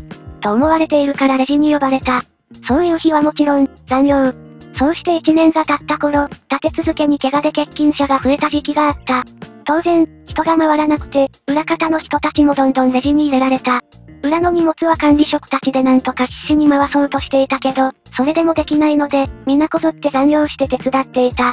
子供が小さいとか介護とかある人は遠慮なく申し出てもらって、交代で作業して、チームワーク？でなんとか終わらせていた。そんな時に、レジのおつぼねたちはこぞって定時帰り、最初はそれでもよかったが、人が足りない時はパートも、帰って大丈夫ですか？と確認してから帰ってくれていた。それを華麗にスルーして帰ろうとしたおつぼね様たち。見ていて、うわぁ、と思ったけど、まあそういう人なんだな、と見ないふりとしていた。そこでおつぼねたちが気を抜いたのか、手伝った方がいいですかね？ええだって人いっぱいいるから大丈夫でしょ。なんとかなるよ、帰ろう帰ろう。と聞こえるところで話したのが、うっかり管理職に聞こえてしまった。管理職ぶち切れ。なんとかなるかどうかは、俺が決めるんだよ。と小さく怒鳴った。まあ、そりゃあそうでしょうね。その日から、おつぼねたちも他部門の仕事を手伝ってもらうことになったんだけど、なんとまあ、できないこと。他部門のパートさんたちも最初は教えていたけど、私の仕事じゃないしって態度をあからさまに出されたもんだから、今では、なんだ、今日の手伝いはババアじゃないのか。というぐらい。その状態で今現在、ババアが逆恨みされている状況です。相変わらず、私の方がババアよりレジできるし、ババアキモい。とかそんな感じ。裏方では皆悪口とかは言わないけど、おつぼねたちが裏に来ると途端に空気が悪くなる。ババアと自分では言っていますが、こう見えてもともとキャバで働いていたから、人と話して仲良くなるスキルは多少高かったりする。あまりにも忙しかったから、おしゃべりする暇もおつぼねたちに構ってる暇もなかったんだけどね。地元最強ナンバーワンを舐めるなよ。ごめんどの辺が因果応報なんだろう。わからない。大丈夫、安心して。私もさっぱりわからないから。2016年4月19日。レス番号343、セクハラ店長。学生時代のアルバイト先の店長 A は、本当に嫌なおっさんだった。A はチビでデブで、イケメンとは到底言い難い容姿だったが、どういうわけだかイケている俺アピールがひどく、誰一人聞いてもいないのにバイトの学生たちに、どうすればモテるかをアドバイスしまくるやつだった。特に、バイトの女子学生たちにするアドバイスはひどいもので。どんな下着つけてるの？いやさ、こういう質問にパッと答えれなきゃ男と会話できないよ。私服でネックレスをしていた子に、わかってないなそのアクセ。いきなりネックレスを触りながら、男はさ、もっと華奢なアクセをしてる女の子が好きなんだって。だからお前モテないんだよ。もっと胸元開けた服着ないとさ、男は反応しないぜ。お前最近太ってんだから、そういうところアピールしなきゃさ。など、下品なものばかり。もちろん皆うんざりしていたが、それでも、誰もバイトを辞めなかったのは、バイト同士の仲がとても良く、例年通りならそろそろ店長が移動の時期だと思っていたからだった。案の定、ほどなくして A 綿の店舗に移動になった。ここからは伝聞だが、A は移動先でも同じことをやらかしたらしい。違っていたのは、その移動先の店舗には、A の気持ち悪いセクハラに耐えてまでバイトを続けようって子がいなかったってこと。当然だ。学生バイトが全員辞めてしまい、店が回らなくなった A は、奥さんをパートにしてなんとか店を切り盛りしようとしたが、その過程で、店の商品を本社の許可なく勝手に管理物に変えたり、商品を減らしたらしい。もちろん、しばらくしてセクハラのことも全部本社にバレて、クビになったんだって。学生の私たちにとっていい反面教師になったよ、A 店長。2016年6月24日。レス番号344、二股男のその後。ちょうど2年くらい前の、このくらいの時期に書き込んだものです。二股男が数年後に別の女と結婚したら、片目失明したって話。いつの間にかその女とも離婚して、今度はバツイチ子持ち女と再婚してた。ご自慢のグッチの結婚指輪、無駄になったんだね夫婦で飼ってたらしい猫ちゃんだけが心配だわ。ちなみに、病気は MS? とかいう難病指定されてる病気でした。前に書き込んだこと以外にも、同僚と同棲してるバイトの女の子に手を出して、どっちの子供かわかんない事件とか、PSP を改造してお金を取ったりしてたクソ野郎だったから、ざまあ、としか思わない。2年前。2014年6月12日。レス番号36、責任。大学時代のバイト先の社員。バイトの女の子と付き合ってた。そして次の年、高卒新入社員と二股かけて、未成年の高卒新入社員は妊娠。もともと付き合ってた女の子は本当にひどい状態で捨てられた。後にその高卒新入社員とも結婚せず、堕胎させたらしい。最近、また別の女と、3年付き合ったから責任取って結婚しました。って SNS に書き込んでたんだけど、正直責任って言うなら打退させた子にじゃねえの。と思った。ところがその1ヶ月後くらいに、原因不明の病気で片目失明した、という書き込みが、きっと天国に行った赤ちゃんが、別の人と結婚して怒ってるんだなぁ、と思った。そいつクソすぎるね。赤ちゃんは殺されたんだから、失明でも軽いくらい。そいつはまだまだクズエピソードあって、その前には同じ職場の同期の男の彼女とやって、そのカップルは同棲してて公認だったから、その子が妊娠して周りは、ついに結婚かって感じだったんだけど、どっちの子かわからないって騒動が起きて、結局その二人も別れて新ママになった。2016年7月1日。レス番号346、呪い。奥様的要素はないですが、小中学校の時いじめられてたんだけど、二十歳くらいの頃、中でも一番ひどかった奴に道端で後ろから蹴飛ばされ、いきなり殴る蹴るの暴行を受けた。奴は薬中だったから手加減なしだった。奴が私とは面識ない友達と一緒に、しいね。しいね。と大声で叫んでるのを背に、なんとか逃げ出し、家に帰ってから一週間くらい呪ってた。一週間後、奴は死んだ。風呂で持病の発作が起きて溺れたらしい。2016年7月23日。レス番号347、飛び降り。いいなぁ、私は全然呪い聞かなかった。呪いっていうか神頼み？牛の国参りみたいなやつよ。もう追い詰められてどうしようもなくなっちゃってさ。あいつ殺して私も死のうって、放課後の教室で、包丁構えて追いかけ回した。いじめ女、2階の窓から飛び降りたよ。骨折してざまあだったけど、大騒ぎになって全部隠蔽された。いじめ仲間にお偉いさんの娘もいたからだと思う。お偉いさんからいじめ女の家にお金が渡ったとかなんとか。で、私一人だけ転校の刑。でも転校先はいじめなかったし、普通の友達ってのができた。転校前の友達と思ってた子、あれは友達なんかじゃなかったわ。なんか転校の時泣いて損した。いじめ女は今車椅子人生送ってるよ。私がいなくなって誰彼構わず威張り散らして、逆にターゲットになって無視されて、松葉杖ついてたんだけど、帰りに足踏み外して、道路から数メートル下のみかん畑に落ちたんだって。学校の2階より低いし地面も柔らかいのにね、なんか打ちどころ悪かったみたい。運動部だったのにかわいそうにね。因果応報だけど、それ聞いた時にしんみりと、かわいそうって言ったのがどうしてか伝わって、いじめ女親がうちの実家に抗議してきたよ。私が同情したの聞いて、いじめ女が大暴れして手がつけられなくなったって。ちょうど盆だから帰省してたけど、その時ばかりは笑っちゃったわ。こういう案件意外とたくさんあるんだよな。テレビに出るのはごく一部。2016年8月10日。レス番号350、人望なしの会社。近所の、食品製造会社の経営者一族。自分たちを守るためなら、他人の人生を壊すような嘘を平気でつく。経営能力なぞみじんもなく、年々売り上げは落ちている。友人、知人に借金しまくるも踏み倒している状態。さらに、自分たちの気に入らないことがあると土下座強要。郵便配達員さんたちとか、店頭で土下座させられていたらしい。はっきり言って人間のクズ。こんなんだから、もちろん人望なんかない。近所から完全無視。この間、なんか保健所に通報が行って検査入ってた。通報した犯人探ししているようだけど、心当たりが多すぎてわからないみたい。因が多い方にはちょっと足りないかもしれないけど。そろそろ不当たり出しそうだ。と聞いたので記念書き子。2016年11月14日。レス番号352、学歴至上主義。うちの近所に、学歴主義のおばさんがいる。主義だけなら個人の勝手だしどうでもいいんだけど、私の母が中卒なのを知ってて、ネチネチ嫌味を言って嘲笑ってくるのに困ってた。中卒だろうとなんだろうと、手に職つけてバリバリ働いて、家事も上手な母に恥じる点などないんだけど、母には学歴コンプみたいなのがあるようで、いじめに遭うと結構凹んでた。その嫌味っていうのが、親に教育がないと、子供の知能の伸ばし方がわからなくてかわいそうね親の知能は子供に遺伝する。まともに学校に行かれない知能を遺伝させて、子供がかわいそうねみたいな、子供を出しにするもので、母もスルーしようと思いつつも、つい、私のせいで子供たちに迷惑をかけてるのでは、と不安になってしまうらしい。それなら私が、おばさんの妄言を否定できるほど優秀になれば、と頑張ったけど、何しろ、私と同年であるババアの家の一人息子は、地域でも評判の秀才。叶うはずもなく、結局その息子と比べられてはおばさんに馬鹿にされ、中卒のお母さんの青年、かわいそう。とあざけり笑われ、母は、娘たち、バカな母ちゃんでごめん。私たちは、不甲斐ない娘でごめん、ギギギ、となることがたびたびあった。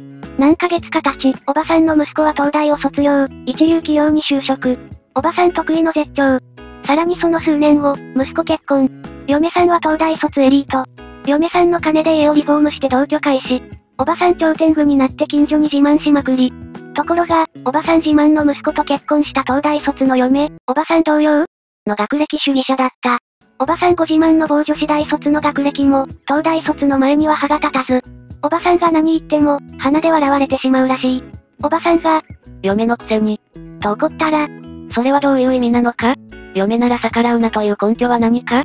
などなど、論破されて散々な目に遭い、その程度の学歴だとそんな頭なんですね。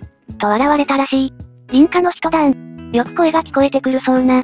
エリートの嫁さんからすると、女子大卒業して働くことなく結婚し、社会に何も貢献しない人は底辺らしい。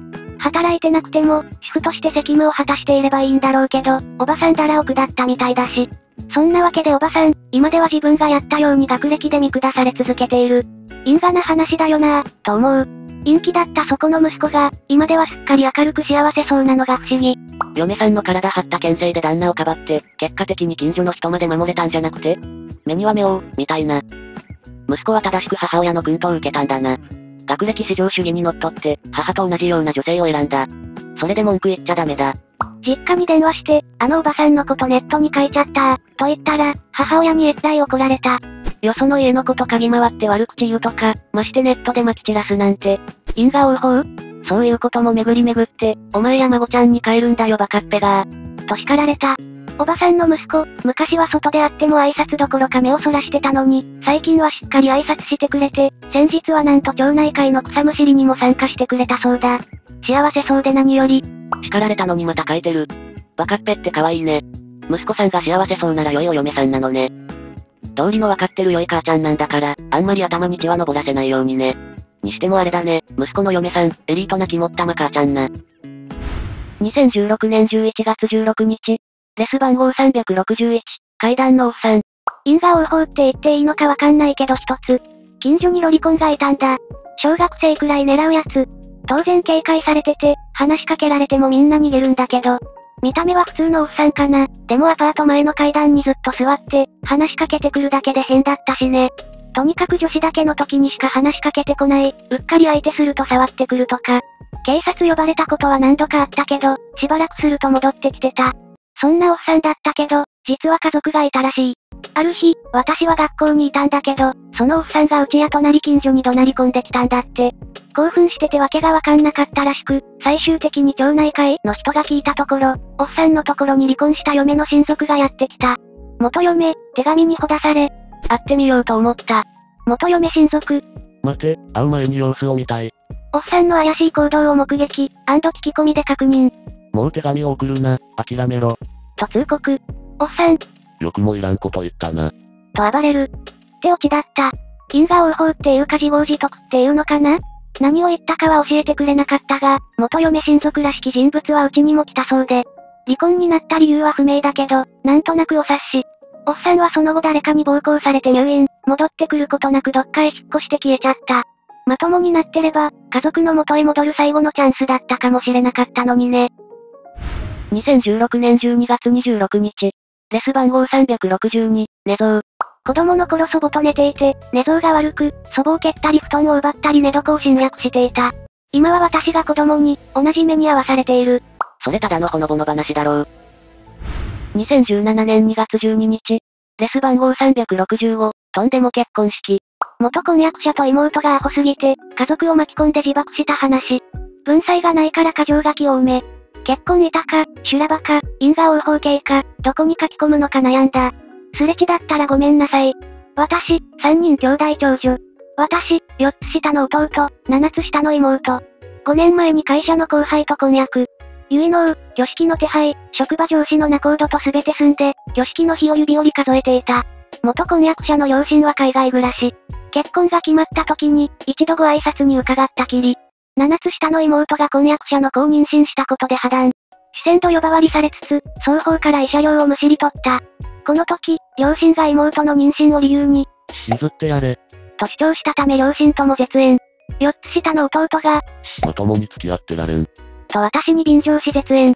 婚約破棄になった経緯を含めて、仲人をお願いしていた上司や招待していた全員に報告したことから、会社中に広まる。ここからが元婚約者と妹のアホなところ。なんと、私と元婚約者で整えていた挙式の段取りを、神父だけ変更してそのまま行った。招待状すら出し直していない。同僚経由でそれを聞かされた時の私の心境は、マジ？だった。正気か、という意味で。慰謝料の一環で、式場その他のキャンセル料は元婚約者負担になっていたから。嫁だけ変更すればキャンセル料払わなくていいじゃん。的なノリ？だった。当然、式場は修羅場か。この挙式に事情を知り、妹同級生で私の後輩にあたる人物は、姉の方が私から招待状を受け取っていたのだが、私の妹の招待を受け、怖いもの見たさではくてかしつつ参列したので、伝え聞いた話をそのまま晒す。自分が直接見たわけではないので、トンチンカンなところがあっても見逃してください。まず、花嫁が違うことに新郎の両親が、はとなる妹をはらませたこと、姉の私とは婚約破棄になったことを報告していなかったらしい。私は全ての対応を弁護士に任せたし、互いの親族に対する報告はお互いですることで合意していた。事情を聞かされた新郎母が、挙式前に新郎と新婦にビンタをかまし、控室で第一次修羅場勃発。新郎母と新婦母が掴み合いの喧嘩になった私側親族、会社関係者、私、共通の友人の、花嫁を入れ替えた式だと承知している人間は誰も参列しておらず、3分の2が空席でガラガラ状態。これに、何も知らずに参列した新郎側の親族、友人と、妹が呼んだ参列者がざわざわ。妹はこれらの穴埋めのために、日頃付き合いのない小学校時代の同級生にまで声をかけたらしい。新郎両親、新郎側親族を呼んで事情を説明。新郎両親を含む親族が次々と席を立つ。あとは勝手にやれや状態残された事情を知らない面々が、はてな、となりながら挙式スタート。何が何でも挙式にこぎつけようと、神父とその母が息巻いたそう。ボロボロの新郎神父と神父母に、またしてもひそひそ。写真で見たけど、死んだような顔になっていた。神父が着ていたドレスは私が着るはずだったドレス。事前に、式場側に神父が変更になったことを伝えていなかった？のか、第二次修羅場突入。第一次修羅場で、式場の人は事情を察していそうだけど、手配や連絡が間に合わなかったのか？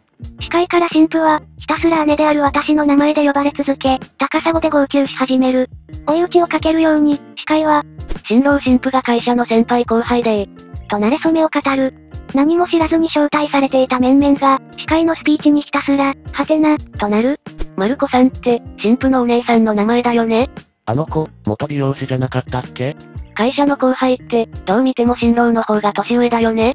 新婦側の親族が両親以外いないのって、そういうわけ？お姉さんの婚約者、寝取った？新婦友人のざわざわから、事情が新郎友人に伝わり、高い祝儀払ってこれか、やってられるか、精神になったのか、新郎友人を中心に式を無視して、ブレイコーのように飲み食いを始めた。新婦友人にもそれが伝わり、結婚式、バイキング、の様相になったそう。食うだけ食って、友人一同お色直しも待たずに式の途中で退場。号泣する神父とうろうろする神父両親、死人の顔の新郎だけが残されたそうな。この後、役落としに数合わせ含む神父友人一同は、カラオケに行ったそう。式場側からすれば、この一連の後始末をさせられたことが第三次修羅場だと思う。銀河王法かな？と思ったその後も晒す。新郎新婦がここまでやらかしたので当たり前だが、新しい人生の門出と同時に孤立街道まっしぐら。新郎は両親、親族、友人から絶縁。新婦とその両親は親族から孤立。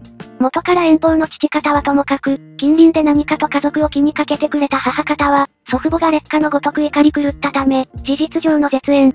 妹は妊娠を盾に離婚を渋ったものの、当の新郎は一連のアホさ具合が会社に筒抜けになっていたため、周囲の視線に耐えきれず退職。良くも悪くも、同僚内の風通しがいい業種なので、あの〇〇社にいたアホだ。と知れ渡っていたため、近郊で、一応国家資格の同僚に転職を試みるも失敗。私に支払った本人プラス妹分の、二人分の慰謝料で貯金もなく、出産費用すら出せずに、妹両親に工面してもらったそう。その妹両親は、妹が人数集めに小学校時代の同級生にまで声をかけていたせいで、近隣から笑い物にされ、耐えきれなかったのか、父が定年を待たずに失踪。その際、家族に内緒で会社に早期定年で退職しており、退職金は父の逃亡費用になった。この頃から、私と弟に金くれ依頼が頻発するように。自宅や車のローン、母と妹の通院費、妹が持っていたカードローン、子供の養育費、税金等が滞った模様。絶縁を理由に拒否。専用の母と無職の妹、全力で夫にぶら下がる。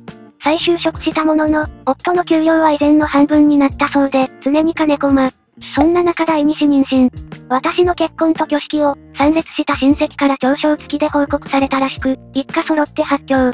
親を呼ばないなんて。夫と長女と長男に見捨てられたかわいそうな母か。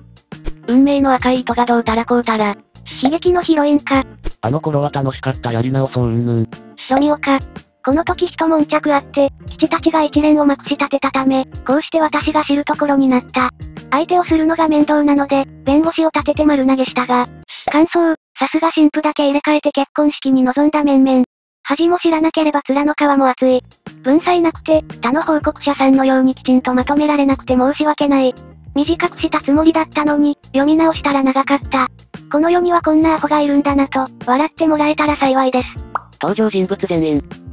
自業自得だね翌日、2017年2月13日、9時23分、365のものです。お目汚しすみませんでした。少し動きがあったので、その後書き込みに来ました。現在、私妊娠中。元妹と元母、揃って現旦那を怪獣しようとまとわりつく。ロミオ化した妹夫が現旦那に傷害沙汰。揃って通報。と相なりました。基本弁護士任せですが、アホはどこまで行ってもアホなのかと。体調に悪いので、弁護士に制裁をお願いして関わらないようにしていますが、弟夫婦や親族とも相談して今後の対応を考えようかと。とりあえず、あの3人は病院に放り込むべきですかね？絶縁した割に、住所や連絡先握られてるなんて甘すぎないかな。今後また暴力沙汰でお腹の子が流れたり、旦那さんが重症になったり、亡くなったりしたらあなたのやじ馬精神で、お腹の子供どころか、人様の大事な息子さんであるあなたの旦那も被害に遭ってんのに、なんだか楽しそうに見える書き込みだね。無理に楽しく振る舞ってるのかもしれないけど、家庭ができたなら何よりそっちを守ろうよ。今のトラブル片付いたら逃げるのが先じゃないの？創作だといいね。塀の中じゃなく堀の中に埋めてしまえ。なんかどっちもどっちで醜いわ。こんな陰険な年上女なら、逃げられ寝取られても仕方ないでしょ。ほんと長女の醜さ丸だし。妹オツです。次女がアホなのに。2017年2月20日。レス番号376、給食。うちの会社は、社員一人一人に社内用メールアドレスがある会社。全社員のアドレスを会社対応のパソコンから検索できるけど、長く休職中の人は、名前だけでアドレスが出てこない。仕事はできるけど口も性格もきつい、噂話と悪口の好きなおつぼねさんがいて、うつで休職中の女性同僚のことを、あいつの社内アドレスなくなってるわ。ウケる。と言って馬鹿にしていた。その後、おつぼねさんは翌年度から、A 支部の部長に昇格という理由で、半端な時期に移動していったんだけど、1年経っても A 支部の部長の名前が変わらないし、A 支部の集合写真にもおつぼねさんはいなかった。試しにアドレス検索したら、おつぼねさん休職中になってて、どうも、A 支部の人たちとうまくいかなかった模様。因果応報を感じたわ。2017年2月25日。レス番号377、同級生と父の不倫。同級生が私父と浮気、離婚、再婚、無職、SOS。SOS が来たのはまさに今日の出来事なんだけど、投下させてください。長文な上に前提長いです。1回で入らないので分割してあげます。私が25の時、アホの父が会社の若い子と不倫し、家庭を捨てた。この若い子のエスコが、私の小学校時代の同級生だった。私は3兄弟の一番上で、当時社会人だったのは私だけで、下の弟たちは高2と中3だった。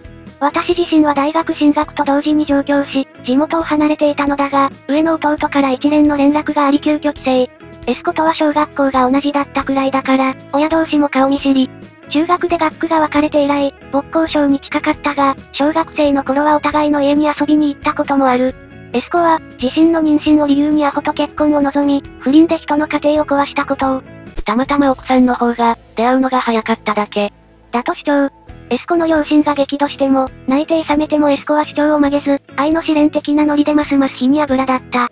自分の娘と同じ年の子にのぼせ上がったアホも、脳みそがすっかりお花畑で、家族全員呆れた。母を裏切りエスコにのめり込んだアホを、もう父親だとは思えず、兄弟3人で母に離婚するよう勧めた。とはいえけじめは必要なので、再婚したければ好きにしろ、その代わり払うものをきっちり払え、と弁護士を雇って、アホとエスコ双方に慰謝料を請求し、弟二人の養育費プラス、学費を含む金額をむしり取ることにした。浮かれきっていた二人は渋ることなく支払った。さっさと払って母に、離婚に応じさせたかったんだと思う。エスコは妊娠していたし、アホと母の離婚が成立しなければ、生まれても非着出し扱いだから、こちらが足元を見て結構な金額をふっかけた自覚はある。アホとエスコは、その際に、築5年未満の自宅を追い出されるとは思っていなかったらしい。エスコが、新築の綺麗な家で愛する人と一緒に暮らせる。と浮かれているのは見ているだけで分かった。もともと実家は母方の祖父母が住んでいた場所で、祖父母が母の弟夫婦の元に身を寄せる際に、家の建て直し費用と一緒に土地を生前贈与で母にくれたもの。当然名義も母だから、アホには何の権利もなかった。余談だけど、エスコに請求した慰謝料よりも多めに支払われたのは、エスコの父親が地元のお役所に勤めていた人物だったから、口止め料的なものが含まれていたんだと思う。この騒動で、仕事を続けられたのかどうかは不明。二人に全部一括で支払わせて、エスコにアホをくれてやった。捨て台詞的なものを吐かれたけど、アホに対する愛想が尽きていたこともあって、正直どうでもよかった。そして今日、因果応報の真っ只中にいるエスコがのこのこやってきた。案の定と言うべきなんだけど、正直私の心境はざまあみろなので晒す。現在私とエスコは35歳。私はアホが26歳の時の子。よって、アホは現在61歳。26も年上の男と結婚すれば当たり前なんだけど、アホが体を壊して働けず、色々苦しいご様子。もともと高血圧と痛風で薬を飲んでいたアホは、大きな病気をやって再就職先で倒れたらしい。なぜ再就職先なのかは知らない。不倫バレして、居づらくなって辞めたのか？私は今実家で、地元出身の旦那と子供と母と暮らしてるんだけど、家に、助けろ。と突してきた。一目見ただけで金駒なのがわかるヨレヨレな姿で、正直、一回り以上上に見えるくらい老け込んでいた。資金援助と、愚痴と、私ずるい的なことを、延々と言った。子供の学費はこれからもっとかかるし、塾にだって行かせてあげたいのに行かせてあげられない。お金がないから、子供を高校に進学させてあげられるかどうかもわからない。同じお父さんの子なのに、私子たちだけ大学を出てずるい。貯金もアホの医療費で消えた。そのアホは寝てばかりで育児も家事もしてくれない。子供がアホに懐かない。授業参観に来ても、おじいちゃんが来たようで嫌だって泣かれた。実家の両親は引っ越してしまって連絡先もわからない。あんただけ子供を二人も産んでずるい。私も年の近い人と結婚すればよかった。あの時、あんたたちが私たちからお金を取っていかなければ、こんなに困ることはなかった。慰謝料と弟たちの学費のこと？私子のお父さんだし、あの子は弟でもあるんだから助けるのは当然。助けないのなら慰謝料返せ。という主張に、腹の底から笑えてきた。人の家を壊して、人の父親を人の母親から取り上げて、捨て台詞吐いたのはあんただろう。あのアホ男が家庭を捨ててあんたと結婚した時から、私らとあのアホ男との縁は切れてる。そのアホ男がよそで作った子供のことなんか知ったことじゃない。あんたとあのアホがどれだけ困っても自業自得。夫婦なんだし、旦那が働けないのなら嫁が働いて家庭を支えればいいだけの話じゃん。あんた50だっけ？あ、見えないけど同い年だったっけ？見えないけど。じゃあまだ働き口はあるじゃん。50のおばさんじゃないんだし。あんたの子が成人するとき、あのアホ男は70過ぎか。息子ちゃんに介護させなくていいように、お金貯めておきなよって感じで、ここぞとばかりにプゲラしといた。老けて見えるのを気にしているのはすぐ分かったから、自分でもドキュンだと思ったけど、外見と年のことをネチネチ言っといた。性格悪いなお前。と、旦那に惹かれたけど、甘い顔なんか見せてすり寄ってこられちゃたまらん。あのアホとエスコのことが分かってから、うちの母は鬱になるほど落ち込んだんだ。下の弟も一時期生活が荒れたしね。家事も手につかない母弟二人が支えるのは無理だったから、私が仕事を辞めて U ターンした。弟たちはそれぞれ受験があったし、仕事を辞めたのは自分で決めたことだけど、夢だった仕事を諦めるしかなかったって思いがどこかにくすぶっていたのかも。今は結婚して幸せだけど、結構な倍率の、子供の時からなりたかった仕事に新卒でついて、ハードだったけど仕事も覚えて、充実してて、これからって時だったから、弟二人も独立して、私と上の弟が結婚して、今では孫フィーバーで立ち直ってくれたけど、今でも薬は飲んでいるし、母と同年代のご夫婦を見るたびに思うところがあることも知ってる。元の私の性格の悪さにそういう背景が重なったもので、手心なんかあるわけない。去り際にまだぐちぐち言う雰囲気を見せたから、笑顔で言っといた。あんな中古のじいさん引き取ってくれてありがとうね。おかげで介護とは無縁でいられるわ。ほんと、子供がいるとお金がかかって大変なのよねって言った時に、ものすごく悔しそうな顔をしたので誘引が下がったよ。自分でも、こんなに性格悪かったっけって思うけど、正直すっきりした。今後まだ接触してくるのなら、弁護士に法的な措置をお願いするつもり。一応、引っ越したっていうエスコの両親の居場所も探しとく。連絡先を確保したいから。気持ち悪。文章うまいな長いのに読みやすい。2017年3月8日、レス番号383、ニート長兄。無人みたいだから書き捨て。気色の悪い内容だけど実は、長男郷で育ったお坊ちゃま、見事にニートか。両親に見捨てられじじばばの年金吸い取る毎日。文中、おえいな展開あり。長兄様は2次元と3次元の区別がついてません。二次漫画に出てくるような、おえいがダメな方は回避必須なのでご注意願います。東方3人兄弟の末っ子長女。次男とは双子。実家は普通のサラリーマン家庭なんだけど、テンプレな長男教。お坊ちゃま扱いされている長兄様を尻目に、奴隷扱いされて育った。子供の時は扱いの差に傷つきもしたし、親の愛情を得ようと、勉強やスポーツを頑張って表彰されるとかしたけど、どんなアホ本でも長男さえいればいい、という思考回路を変えることはなかった。子供の時は、長兄とは4つの年齢差がそのまま体格の差だったから、私も片割れも怯えたものだけど、そのうち、こいつが小心者で威張り散らしていても、いちいち親の意向を振りかざさなければ何も言えない奴だ、と気づいた。年齢が上がるにつれてこっちも育ってくるし、知恵もついてくるから、私と片割れは中学に上がる頃には、こんなどうしようもない実家は大人になったら縁を切ろう、と割り切ることにした。幸い、ジジババと両親は、人並み以上に世間体を気にする人たちだったから、周囲の大人を味方につければ高校、大学に進学することも可能だったため、私たち双子を、老後の ATM にする気で学費を払うジジババと両親に従順なふりをして、学生生活を終えた。もちろん、その後は適当にあしらって知らん顔。地元に帰省するのは同窓会とか地元の友達と集まる時だけ。冠婚葬祭だけは出席していたけど、実家には立ち寄らなかった。両親は私と片割れがそれぞれ結婚したことも、子供がいることも知らずにいる。一度、兄に結婚の話が上がって、顔合わせで召喚された時だけ出席した。何でも長兄様が見初めた相手を、仲人が趣味の自治会長さんに頼んで見合いをこぎつけたとか。これは何が何でも潰さねば、と私と片割れ、それぞれ駆けつけました。片割れに至ってはパスポート片手にお空を10時間飛んできた。その理由は、私が中学に入ってすぐの頃に起きた、長兄様、妹の入浴中に風呂乱入、私と片割れに撃退されて骨折、という事件があったから。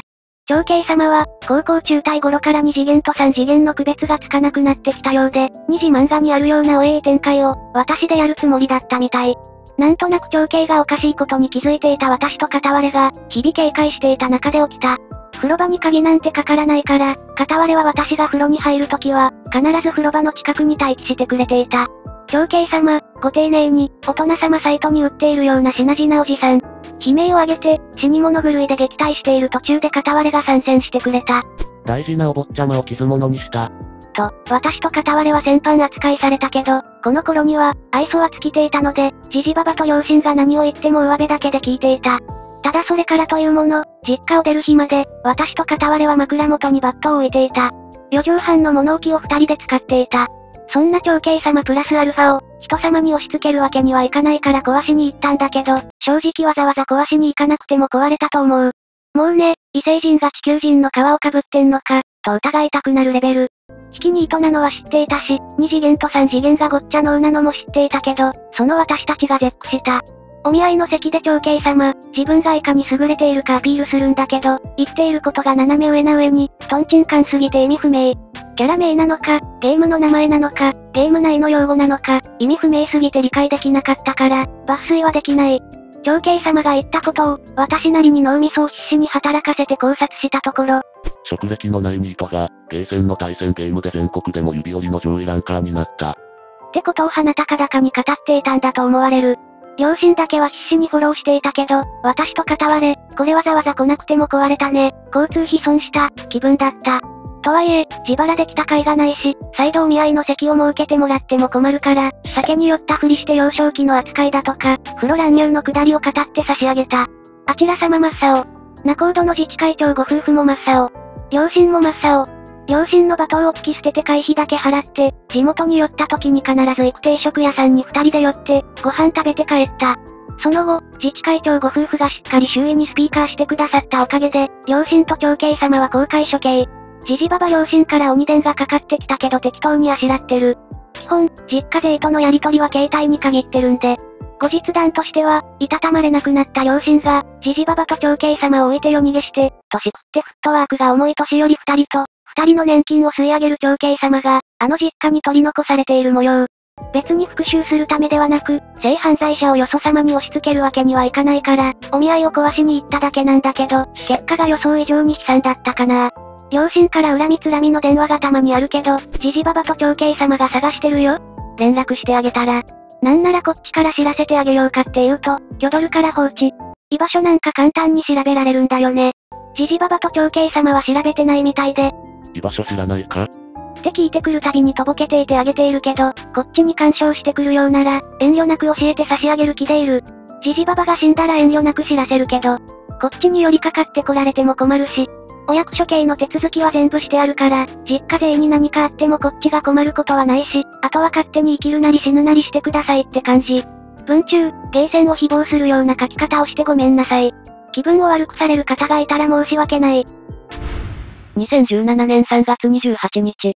レス番号390、いじめっ子男子。小学生から中学生の9年間、同じ男子に執拗にいじめられた。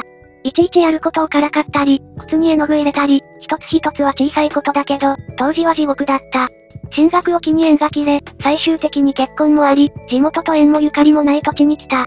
旦那ともそれなりに穏やかな日々を過ごしている。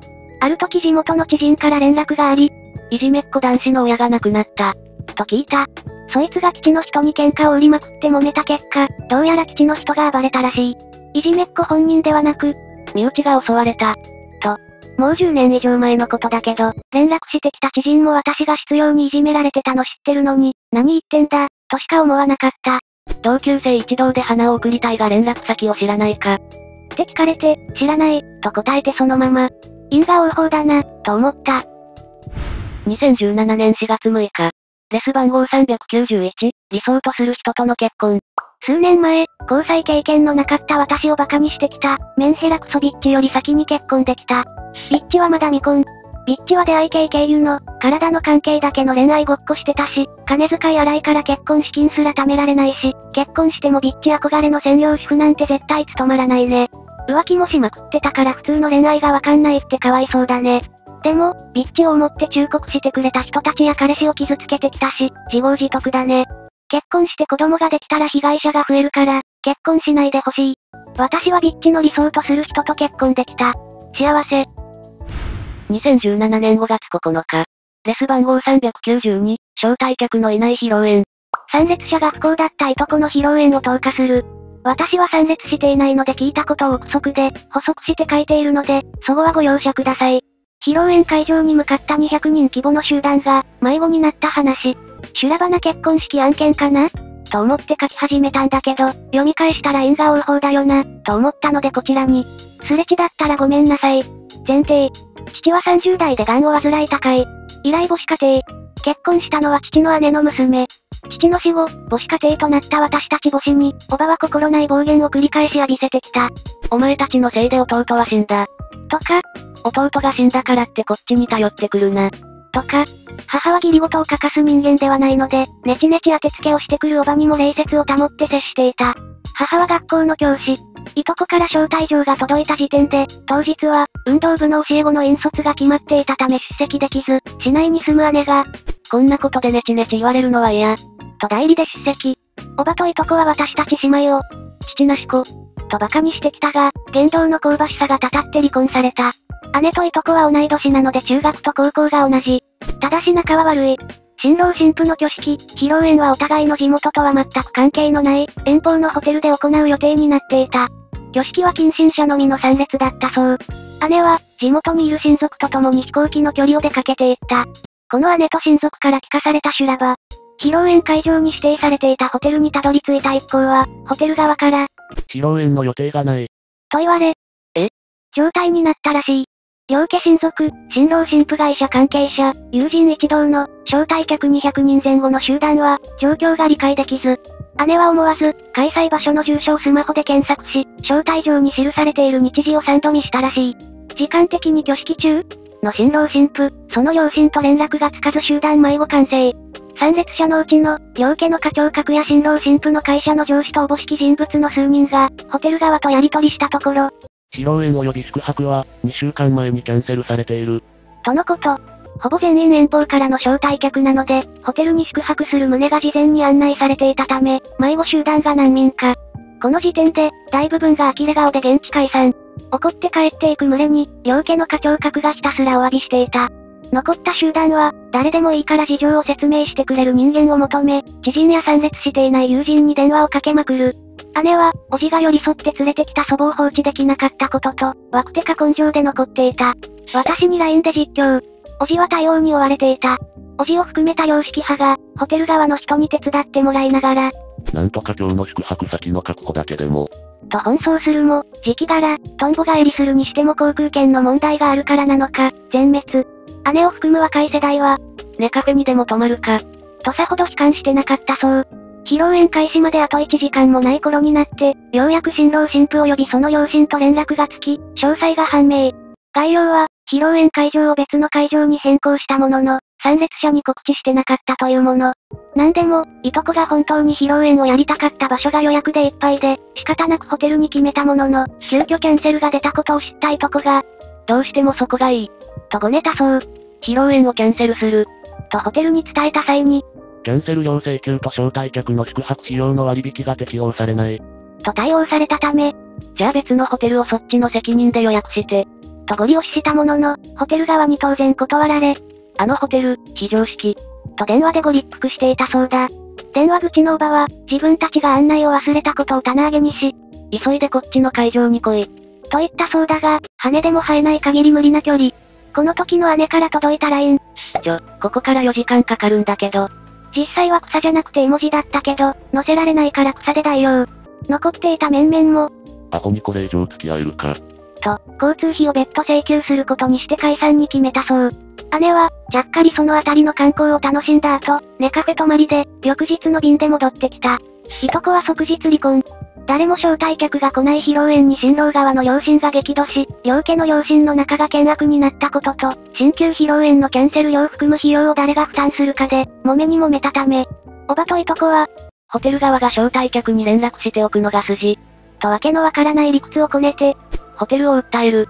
と息巻いたものの帰り討ちにされた模様。その後、矛先を親族に変えて、お前たちが披露宴に来なかったせいで、訴えてやる。新郎新婦は、招待客の会社の同僚や友人、親族から、あっという間に一連をリークされ笑い物になった挙句に、二人とも退職。新婦のいとこは引きこもった。父方親族が集まるたびにむしり返されて、おばは発狂するが、日頃からこのおばの言動には迷惑をかぶってきた親族は、ここぞとばかりについている。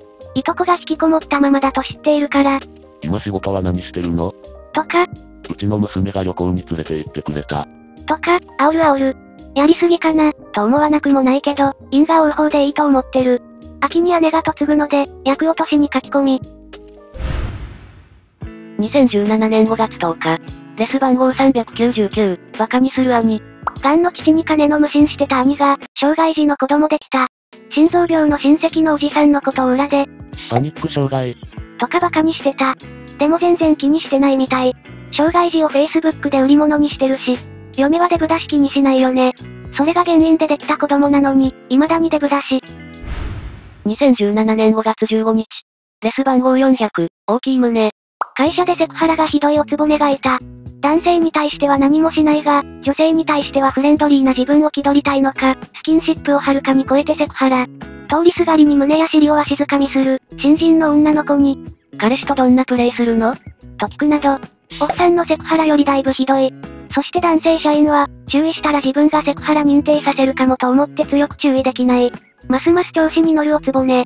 負のスパイラルだった。私は、チビの割に胸が大きいのがコンプレックスだったので、格好の的だった。痛いぐらいに掴まれる。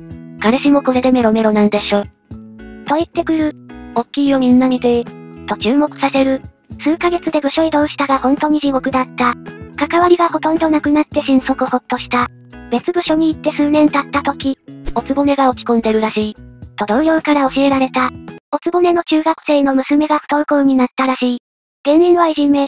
娘は身長145センチ F カップで、かなりの巨乳で、散々からかわれていじめられたらしい。おつぼねが、胸が大きいのはいいことだ。と慰めたら娘は切れたそうだ。F カップだと可愛いブラが少ない。あっても高い。低身長で巨乳だと、全然合う服がない。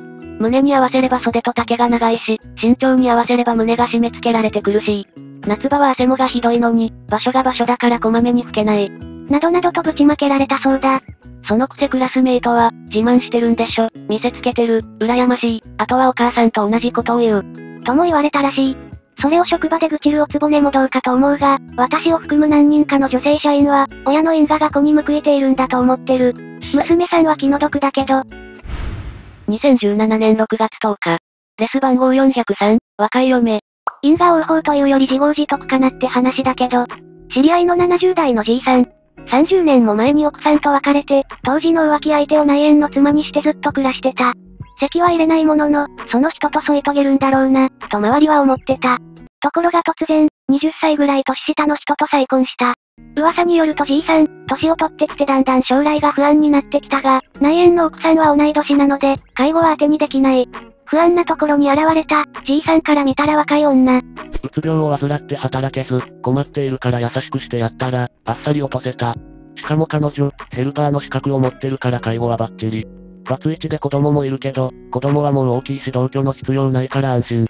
おまけに、うつ病で障害年金も出てるから、女房の生活費はそれで賄えばいい。内縁の妻は泣いて騒いでるけど、お前も介護負担から逃れたんだからよかったろう。これからは友達として付き合ってやる、と言ってやった。と自慢していたらしい。ところが、結婚してみたら奥さんはうつ病ではなく、軽度だけど知的障害者だった。精神病は、治療すれば普通に生活できたりするけど、知的障害は一生治らない。じいさんはもともと結構綺麗好きで、家の中もきちんとしてたんだけど、今はぐちゃぐちゃ、家中ゴミダメになってる。奥さんはもちろん料理なんかできなくて、惣菜だのカップラだのアンパンだのが食事。それも、じいさんの年金で買いあさってガツガツ食べて、うつ病だから、と寝てる毎日。他にも、気づくと痩せる下着だのなんだの無駄遣いしてる。障害年金なんか軽く超える生活費。肝心のヘルパー資格は確かに持ってて、一度働いたことはあるものの使い物にならず、1ヶ月でクビになったんだと。そして独立してるはずの子供たち、実はこちらも知的障害で施設に入ってるだけ。しょっちゅう家に押しかけては、じいさんの年金にたかってるらしい。じいさん最近愚痴言いまくってるけど離婚は難しいみたい。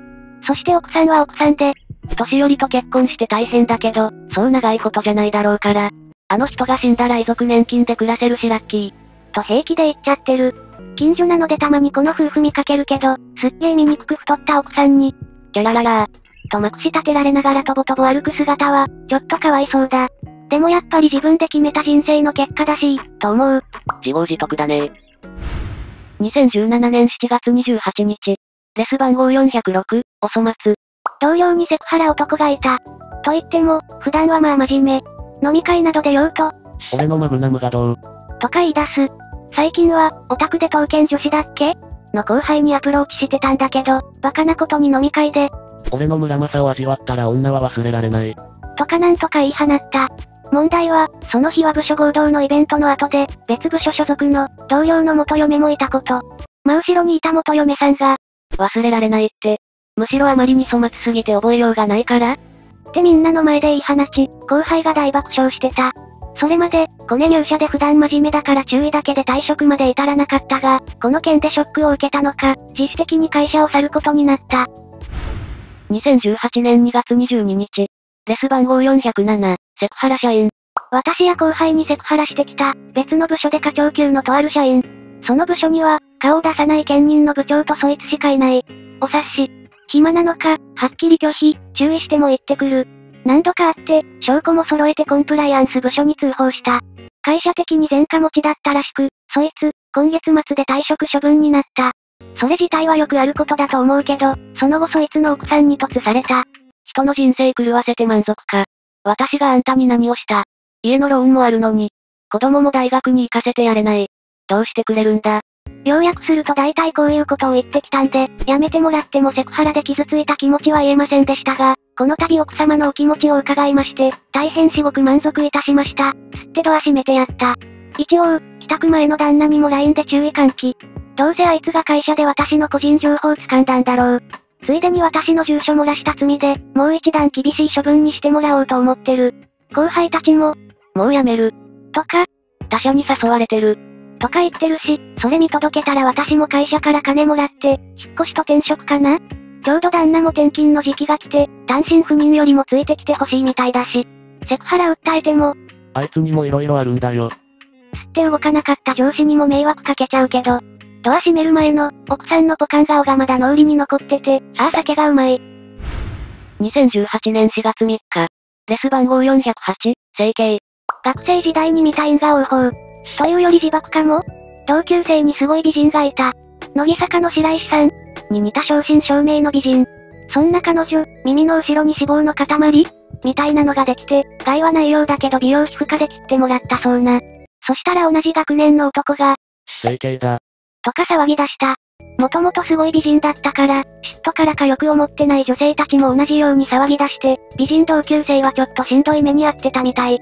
でも、入学した時から美人だって知ってるし、子供の頃の写真見てもそのまんまだし、周囲では、嫉妬なんだから気にするな。って言ってたの。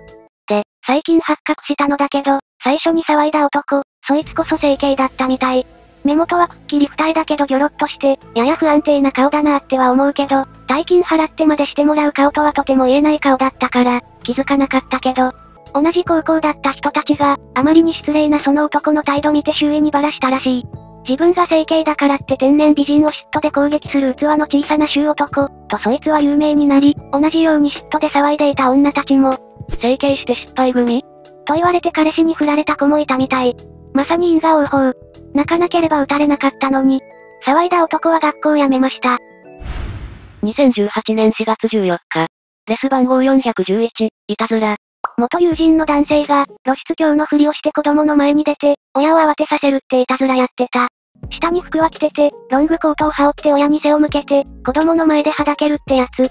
つるんでるバカと一緒に。慌てるのが面白い。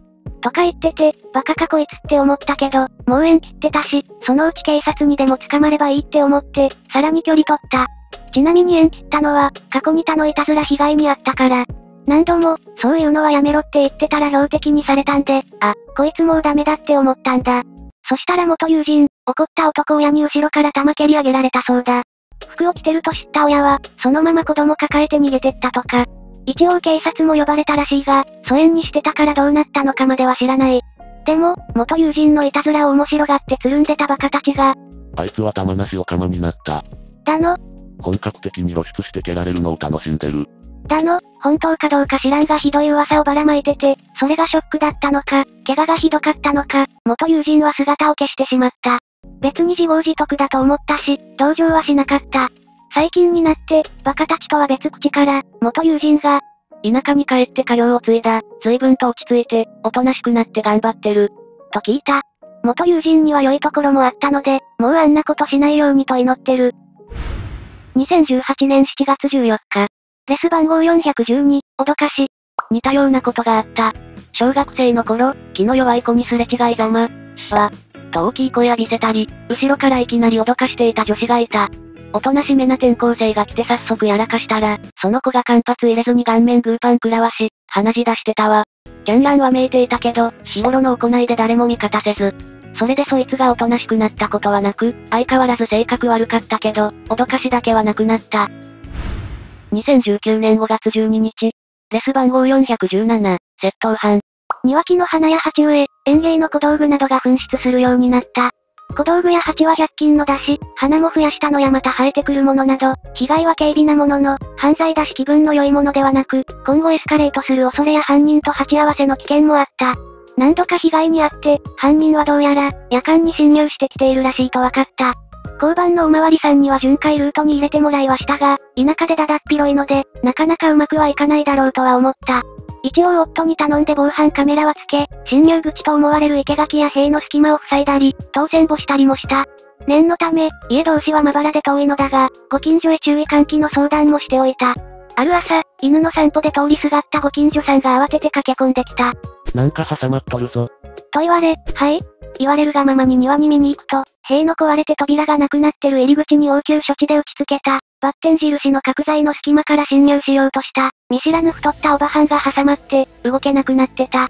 おばはんはぐったりとしていたが、目がアウトス、とそらされた。ご近所さんは、散歩してたら犬が吠え、見たらおけつがでーんとあって魂消えたらしい。すぐ警察を呼んで救出と事情聴取。もちろん九段の窃盗犯だった。おばはんは都会で離婚されて、ご近所というにはちょっと遠いところにで戻ってきた人。どうやらうちだけじゃなく、全く別方向の同じくらい遠いところ何軒かにも、侵入と窃盗を繰り返してたらしい。ダイエットと称して走っていってたらしく、ジャージ姿だった。おばはんの親には謝罪と弁償をされた。どうやら、家で焼け食いガーデニングを楽しんでたらしいが、慰謝料取られて金がなく、しかし、働きたくないでござる。と親の仕事の勧めを交わし、まだ貯金があるから、と嘘ついて、盗んだものを使って庭をいじってたそうだ。親は、ガーデニングで気持ちが落ち着くなら、と静観してて、気づかなかった。それで太ってるのが謎だったが、実家で作るお米が美味しい。と食べる量がすごかったらしい。おばはんは送検だか不起訴だかの後、親の実家があるさらに田舎へと強制引っ越しされていったらしく、ゴールデンウィークに様子見に行ったおばはん親から、そこで目いっぱい流粉にまみれながら働いてた。と聞いた。盗むものもなく、逆に、猿に農作物盗まれたりしてるんで、まあ因果応報なのかこれ？と思いながら、まともに頑張ってるんならいいんじゃね？とも思った。やっぱこれだよな。盗む奴は盗むものがない環境に置くべきだわ。パチンコ屋のない国に行きたいです。悪いことしたからでしょ。誰も見ていないようでも誰かは見ている。街中は役所や個人が設置した防犯カメラだらけ。高層マンションの近くなら複数人が道路を見ている。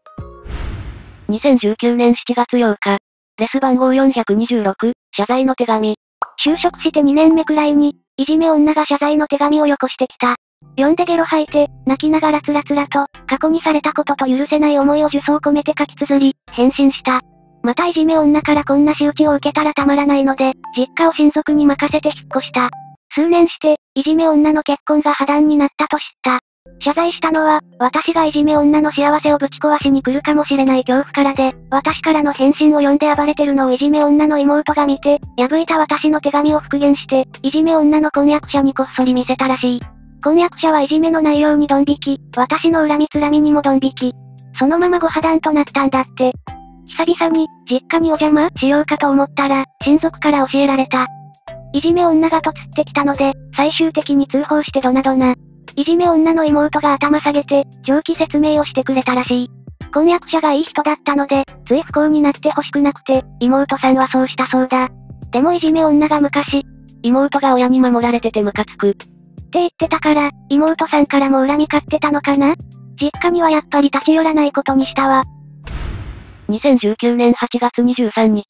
レス番号431。教師になったいじめっ子。中学生の時に、私と他二人の男子を執拗にいじめてた奴が、子供の通う学校に教師として赴任してきたと判明した。レア名字によっとして調べたら、下の名前も年齢も一致。ママ友に見せてもらった写真で確信。これは、バレたら子供がいじめに遭うのでは？と震えた。なので、接点がないうちに悪評でも広めたらどっか移動してくれるかな？と思って、色々と聞いた話を広めてみた。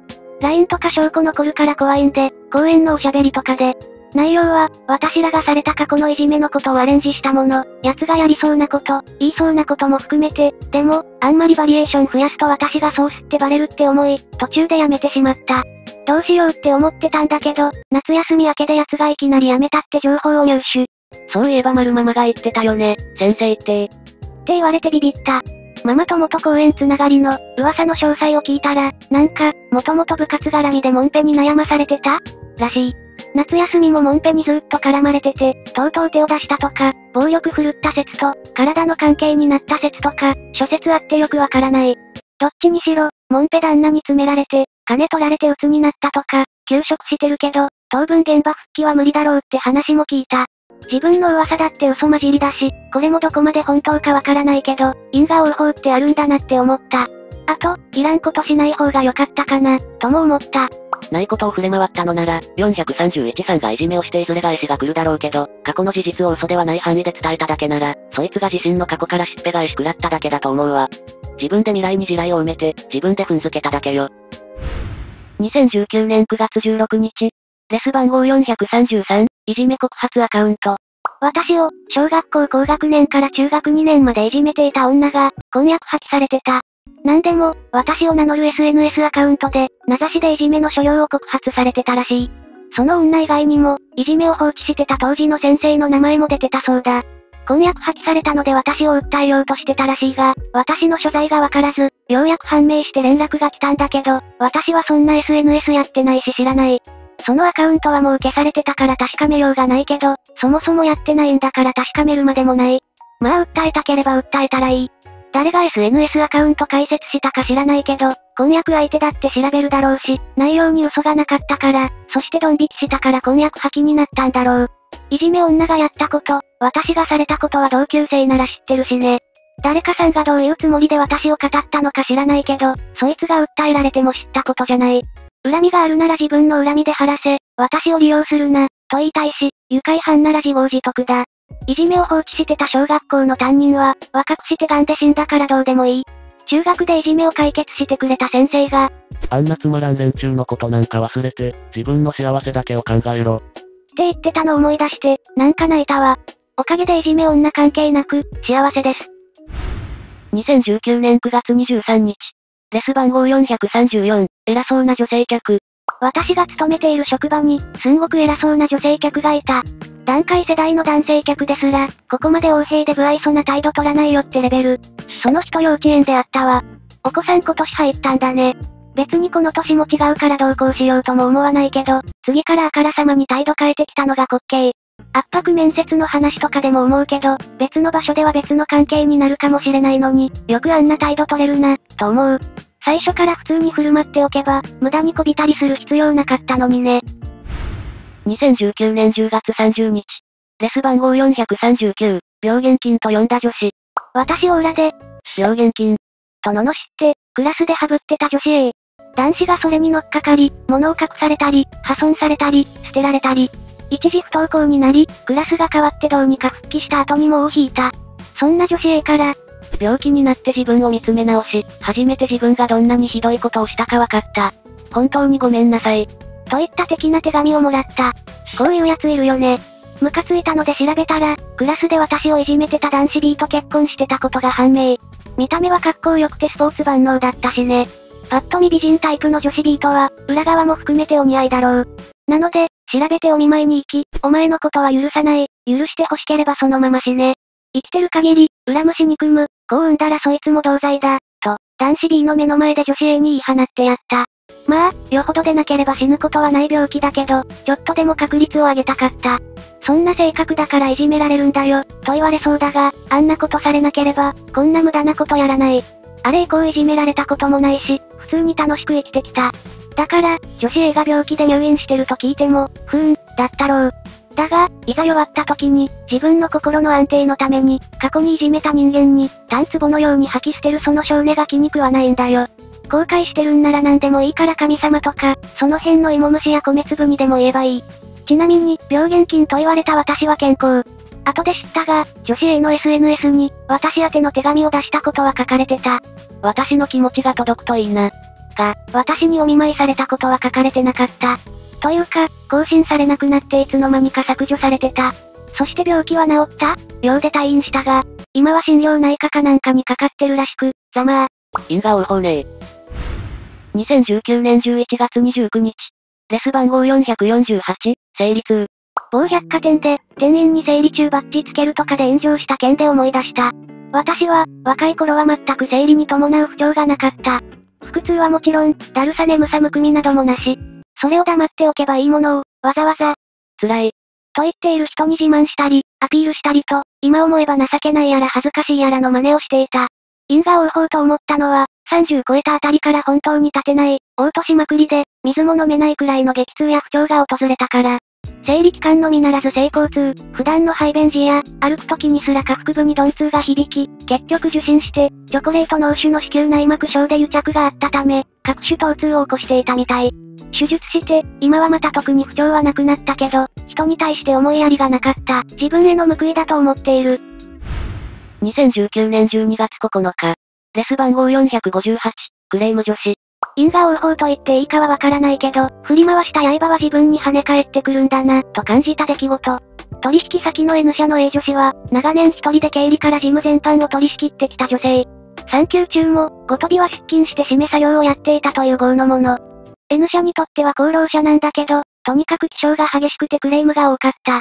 こちらはほぼ一人で見積もりから受注までこなしているのだけど、無理難題を要求していて、なんとか対応しても例の一つもなし。少しでも気に入らないことがあると、すぐにこちらの上司にクレーム。かなり精神的にも参って、退職届を書いたり色々あったけど、他に対応できる人もおらず、騙し騙し続けていた。なんだけど、ある日 N 社の B 子さんが退職してしまった。理由は、A 女子のパワハラによるうつ病。診断書も出ていた。B 子さんは、N 社の新しい社長が直々に採用して、目をかけていた人材。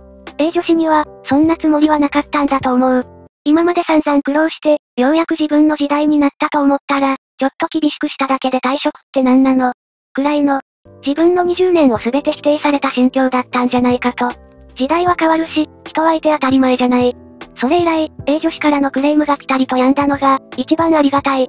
相手の気持ちが分かったっていうより、自分の保身なんだろうけど、悪いことをすれば必ず悪いことが起きる。天罰というものなの。一週間後、2019年12月15日、15時27分、458です。一応事後追記オバ。A 女子は、ボーナスカット、社長から厳重注意、一人経理部門扱いに。他の内勤からは切り離されることになった。N 社の社長から、うちの役員と部長経由で聞いた話です。A 女子は悔し涙に暮れて、転職活動する。と機嫌を上げているようだが、お好きに、という感じです。N 社も A 女子を持て余してたんだろうね。本当は辞めてほしいんだろうし、N 社も転職したいならどうぞどうぞって感じだろうな。悪いことをすれば、神様は見ておられる。そうね。職場ですごく嫌がらせしてくる奴がいるのね。なんでかと思ったら最近離婚したらしくて、後輩で既婚者の私に嫉妬してるらしいのよ。その人は、ある競技のプロでそろそろ大会があるらしいんだけど、きっといい結果は出せないでしょうね。そうだといいわね。妬んでいるんでしょうね、きっと。仕方ないわな。2020年2月3日、レス番号481、交際相手を貶める女。なんか最近、私の場合は旦那についてなのだが、他人の交際相手についてよく、絶対他にも女がいるわよ。とか、男は、より魅力的な女が出たらすぐ手を出す生き物。とか言って絡んできてた、去年隣の部署から移動してきたアラサー毒女の先輩が、おとなしいな、と思ったら、突然休職してしまった。ちょうど芸能人の不倫話が出てきた頃で、ほらやっぱりね。とか言って、絡んできそうだったからほっとした。同じく絡まれてた人と、このまま休んでてほしい。わかる。でもどうしたのかな？病気とか？わからない、なんか上司言いたがらない。みたいに雑談してたら、後輩の子が、私知ってますよ。と、なんと先輩、後輩の上司である隣の部署の責任者と、不倫関係になってたんだと。それが奥さんバレして修羅場になり、社の上の方にも知れて、謹慎処分食らってるそう。それで隣の部署の責任者の人、急におとなしくなって定時に帰るようになったのか。もちろん奥さんからは慰謝料が請求されてるし、どうやら離婚になりそうなんだと。そこまではまあ性格悪いけど、笑い話だったけど、さらに社が事情聴取する過程で、先輩の横領も発覚したそう。金額もやばくて、先輩の公務員の親にまで話が行ってると。なんで後輩がそんなことまで知ってるかというと、そもそも、不倫も横領も後輩が怪しいと思ってたらしく、以前にミスの責任を追っかぶせられて、それでムカついて調べてたんだって。ちょうどそこに、不倫バレからの事情聴取があったんで、疑わしいと思ってること全部話した。と、後輩、悪口は自己紹介って言いますけど、これもそうなんですかね。って笑ってた。だとすると先輩、自分は魅力的な女だと思ってたんだろうか？奥さんは知らないが、先輩はダダみたいな顔なんだけど、知ってるかな？私も YouTube で見ただけだけど、これ慰謝料はなんとか払えても、横領したお金は、使い込んでたら親がなんとかしない限り無理だろうな。というか、先輩確か兄弟もいたはずだから、仮に親が払えても、相続分で足りなかったら兄弟に返済するのかな？どうでもいいか。不倫も横領も罰額だったのは自業自得だし、人の交際相手を貶めてきてずっと不快だったから、ざまあみろ感しかない。2020年11月21日。レス番号490、魔除け。こないだ自宅に帰ったら、階段下に義士が転がってた。どうやら勝手に侵入して、すっ転んで、足折って動けなくなってたみたい。ついでに漏らしてた。汚ねえな。前々から妙な感じはしてたんだよ。お金とか貴重品はなくなってなかったけど、なんか違和感あって。そしたら旦那が、なんか霊感持ちの同僚に言われて、2階の階段上がって曲がったところに、デデンと生ハゲの顔だけみたいなのをかけてた。東南アジア？かどっかの魔除けだって。で、これ。生ハゲもどきにびっくりして逃げようとして、義士、足踏み外して落っこちたみたい。しかも義士、なんか盗聴器？みたいなの持ってて親族大騒ぎに。幸い、これまで仕掛けられてたってことはなくて、その日仕掛けに来たみたいだったけど。ブラコンの義士は、これで未来永劫うちに出入り禁止。旦那も義実家には二度と行かない、義士とであっても、一言も喋らないと決まった。ブラコンで、クソ邪魔なだけで私をいびるとかはなかったから、それまでは我慢してたけど、さすがにこれは擁護できませんでしたわ。なんか同情してしまってた。2021年6月12日、レス番号494、ガキ大将。子供の頃のいじめっ子ガキ大将が、今は、子分一の親が社長の会社でこき使われててざまあ。頭も素行も悪い上、病気になって体力も落ちてしまい、子分一に土下座して会社に入れてもらったらしい。ガキ大将が子分一に偉そうな態度を取るたびに叩き潰され、今やどこにも面影がない。高校でも、別高校にまで噂が聞こえてくるほどのドキュンだったのにね。虚弱になったら反社にも入れないんだね。まあ入っても底辺か。その会社は私の取引先なんで、コロナ前にはよく元ガキ大将が叱られてるのも目にしてた。古文一も、私が見てると分かっててやってる感じ。まあ古文一は、どっちかというとパシリみたいなもんだったし、さほど悪感情はなかったが、コロナで行けない間に、他に取引先見つけたし、多分もうさよならかな、他に地元に用ないし。一緒にいじめやってた古文には、元ガキ大将にも恨みがあったのか、ドキュンらしく絡んだりボコったりしてたらしい。別件で逮捕されちゃって、今はお勤め中みたいだけどね。いじめつっても、一度突き飛ばされて腕折れたことはあったが、私なんか大したことされてないけど、未だに歩くだけで絡まれたり、殴られたりするほど恨まれてるそうだから、ドキュンも弱ると大変だねー、ぼう、と思ってる。2021年8月22日、レス番号495、半枠。元友人が、半枠でコロナ陰謀論者になった。まあ、元がついてるし好きにすればいい。他人に迷惑をかけるな、とは言いたいが、すでに私は他人だし知ったこっちゃない。夫婦でバーベキューしたり出かけたりもしてるが、言っても聞かないし、他人だからどうなろうと知らんというか、どうしようもない。これで感染したら自業自得で迷惑極まりない話だが、ここらは地方都市で大都市ほど感染率は高くない。本人も家族もピンピンしてる。だが、日々県の感染者数は増えてるし、在住の市でも2桁は当たり前になってきてる。そんな元友人夫婦だったが、現在ほぼ無収入になってる。そりゃそうだ。飲食店ではないが客商売の自営業で、店の SNS まで使って、堂々と反枠、陰謀論を展開してるんだもの。加えてバーベキューに家族で買い物、アウトドアの写真も載っけてる。フォロワーは少ないが、その中には長年の顧客も多い。数量は少ないが単価高めで、よそでも購入できるが、アフターサービスや付き合いでそこで買ってる人ばかり。実際、元友人夫婦はアフターフォローや困った時の対応など、ちゃんとしてくれてた。だけど、みんなコロナは怖いんだ。県内でも急増してるし、医療も逼迫してきてる。だから、あからさまにヤバそうなことしてるところに近づいたりしない。私も自営で取引があったが、もう切ってる。新たによそで購入したことを知った元友人が、元友人と疎遠である別の友人を通して恨み事を言ってきたけど、より安くてある程度のアフターサービスもあるなら、感染対策してるところから買うよ。こっちだって生活と命がかかってる。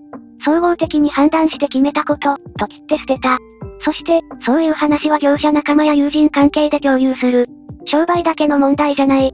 それで孤立して距離を取られても、あいつは陰謀論に騙されてる。で済ますんじゃ、誰だって逃げていくよ。陰謀論に騙されてるってどっちがだよ。そして私らに、あんたらが良くない噂を広めたから、謝罪して損害を賠償しろ。って、自分で宣伝してるんじゃん。それで元がついただけの他人になった以上、たとえコロナ収束しても二度と取引はしない。元友人はとうとうパートに出ようとしてるが、現状お断りされまくってる。それを尻目に元友人旦那は、SNS で Amazon の欲しいものリスト公開して、カップ麺セットいただきました。とかやってるけど、脳天気すぎて笑うしかない。